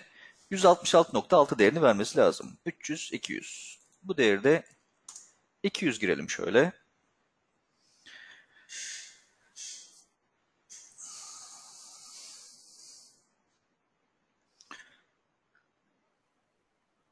...300, 200. Regenerate et dedim. Şimdi bakın burada herhangi bir medkit ikonu yok. Medkit feature'ım var karşımda. Regenerate ettiğimde feature içerisindeki dosyanın içeriğini okuyor. Dosyanın içeriğini okuduktan sonra da regenerate gerçekleşiyor. 166.67 olarak bakın hesaplamamdaki değer buraya geldi. Farklı bir değerle tekrar test edelim. 250'ye 150 133.3 olması lazım. 250 150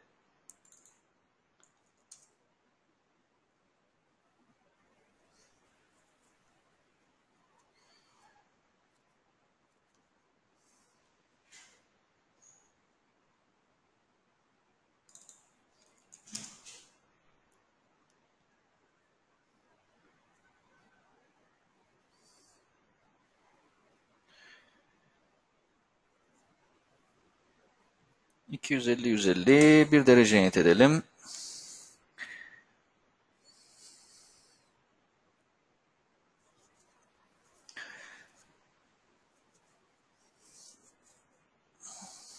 Bakalım 133.3 geldi mi? Geldi bakın hesaplama değerim.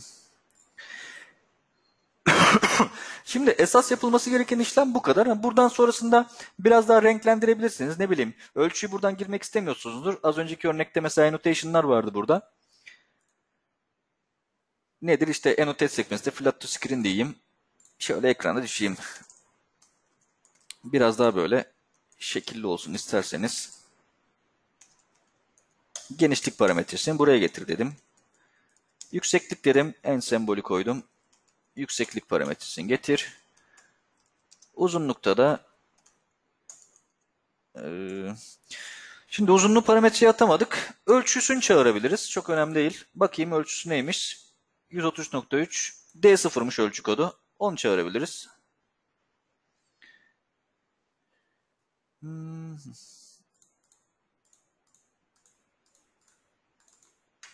Uzunluk dedim. En sembol koyup D0'ı buraya çağır dedim. Ha, girişlerinizi de buradan yapabilirsiniz. Ama burada giriş yapmak için şimdi şeyden ölçüden giriş açık olduğu için bakın şu anda giriş yapmıyor. Burada sadece bir hareket yapacağım. Relations'a geri döndüm. D2 ve D1'i eşitliğin diğer tarafına geçiriyorum. Bu defa çünkü parametre sürecek ölçüyü. Ölçünün kendisi sürmeyecek. D1 ölçüsü buraya eşit olacak dedim. Şimdi şöyle çift klik yaptığımda bakın parametre değerini girebilirim buradan. 350 olsun dedim. İşte 150 ölçüsü de 225 olsun dedim. Regenerate ettim. Şu anda Medket'i çalıştırıyor arka planda. Burada açık olması gerekmez dediğim gibi kapatabilirim Medket'i. Burada Medket sayfasında artık hiçbir işim yok. Ben sadece Creo arayüzünden Prime analizden gösterdim. Benim işim orada bitti. Tekrar regenerate ettim.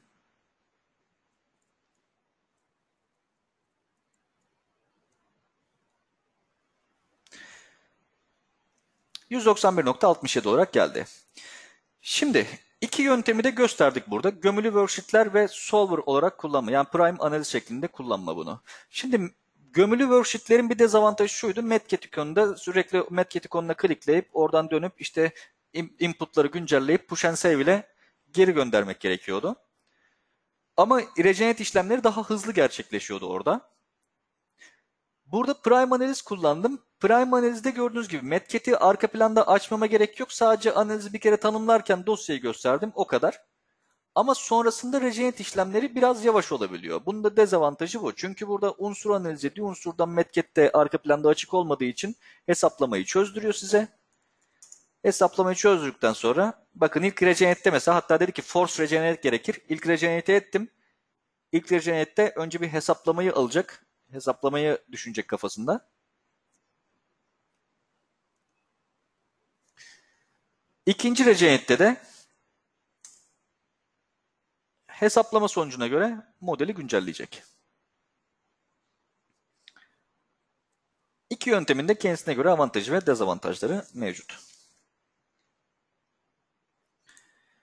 Bütün işlemler bu şekilde. Ha, az önceki örneğe gelecek olursak tekrar mesela daha komplike bir örnek göstermiştik. Şöyle AT 3170 numaralı datamız. Bakın burada da aynı mantıkta bunu gerçekleştiren kullanıcı input torque olarak gelmiş buraya parametresini atamış ve number of play, number of disk olarak da bir parametre atamış. Bakalım parametrelerde var mı? Parametrelerini açtım. Bakın number of disk parametresi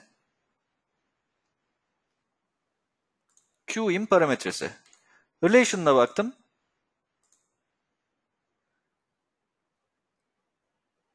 Relation'da da bakın number of disk'i bir pattern unsuruna bağlamış. Pattern sayısı zaten adet değiştiriyordu orada.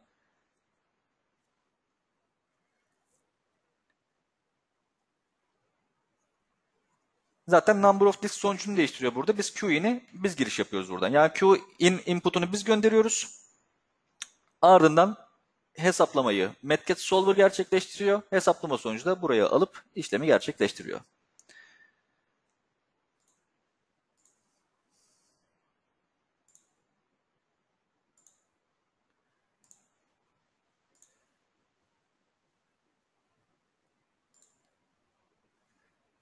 Evet arkadaşlar. Şimdi bugün bayağı da vaktinize aldık bugün. Yaklaşık 1 saat 45 dakika sürdü sunumumuz. Teşekkür ederim vakit ayırdığınız için. Bir bakayım şöyle gelen bir sorulara bakalım.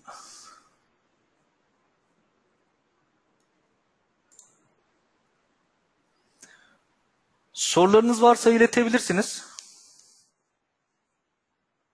Eğitim videosunun paylaşımını yapacağız. Bu eğitimi kaydettik zaten. Record edildi. Paylaşımını YouTube'dan YouTube kanalımıza atıp Oradan linkini size göndeririz.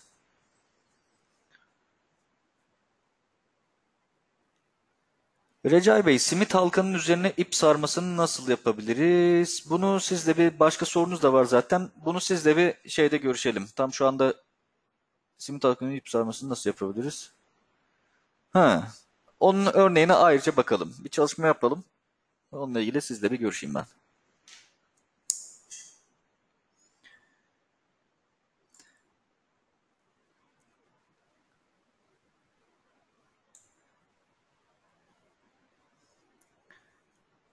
Peki katılımınız için çok teşekkürler arkadaşlar. Sorularınız olursa ekranda gördüğünüz ofis numaramızdan veya e-mail adresinden bize direkt ulaşabilirsiniz. İyi günler dilerim. Kolay gelsin.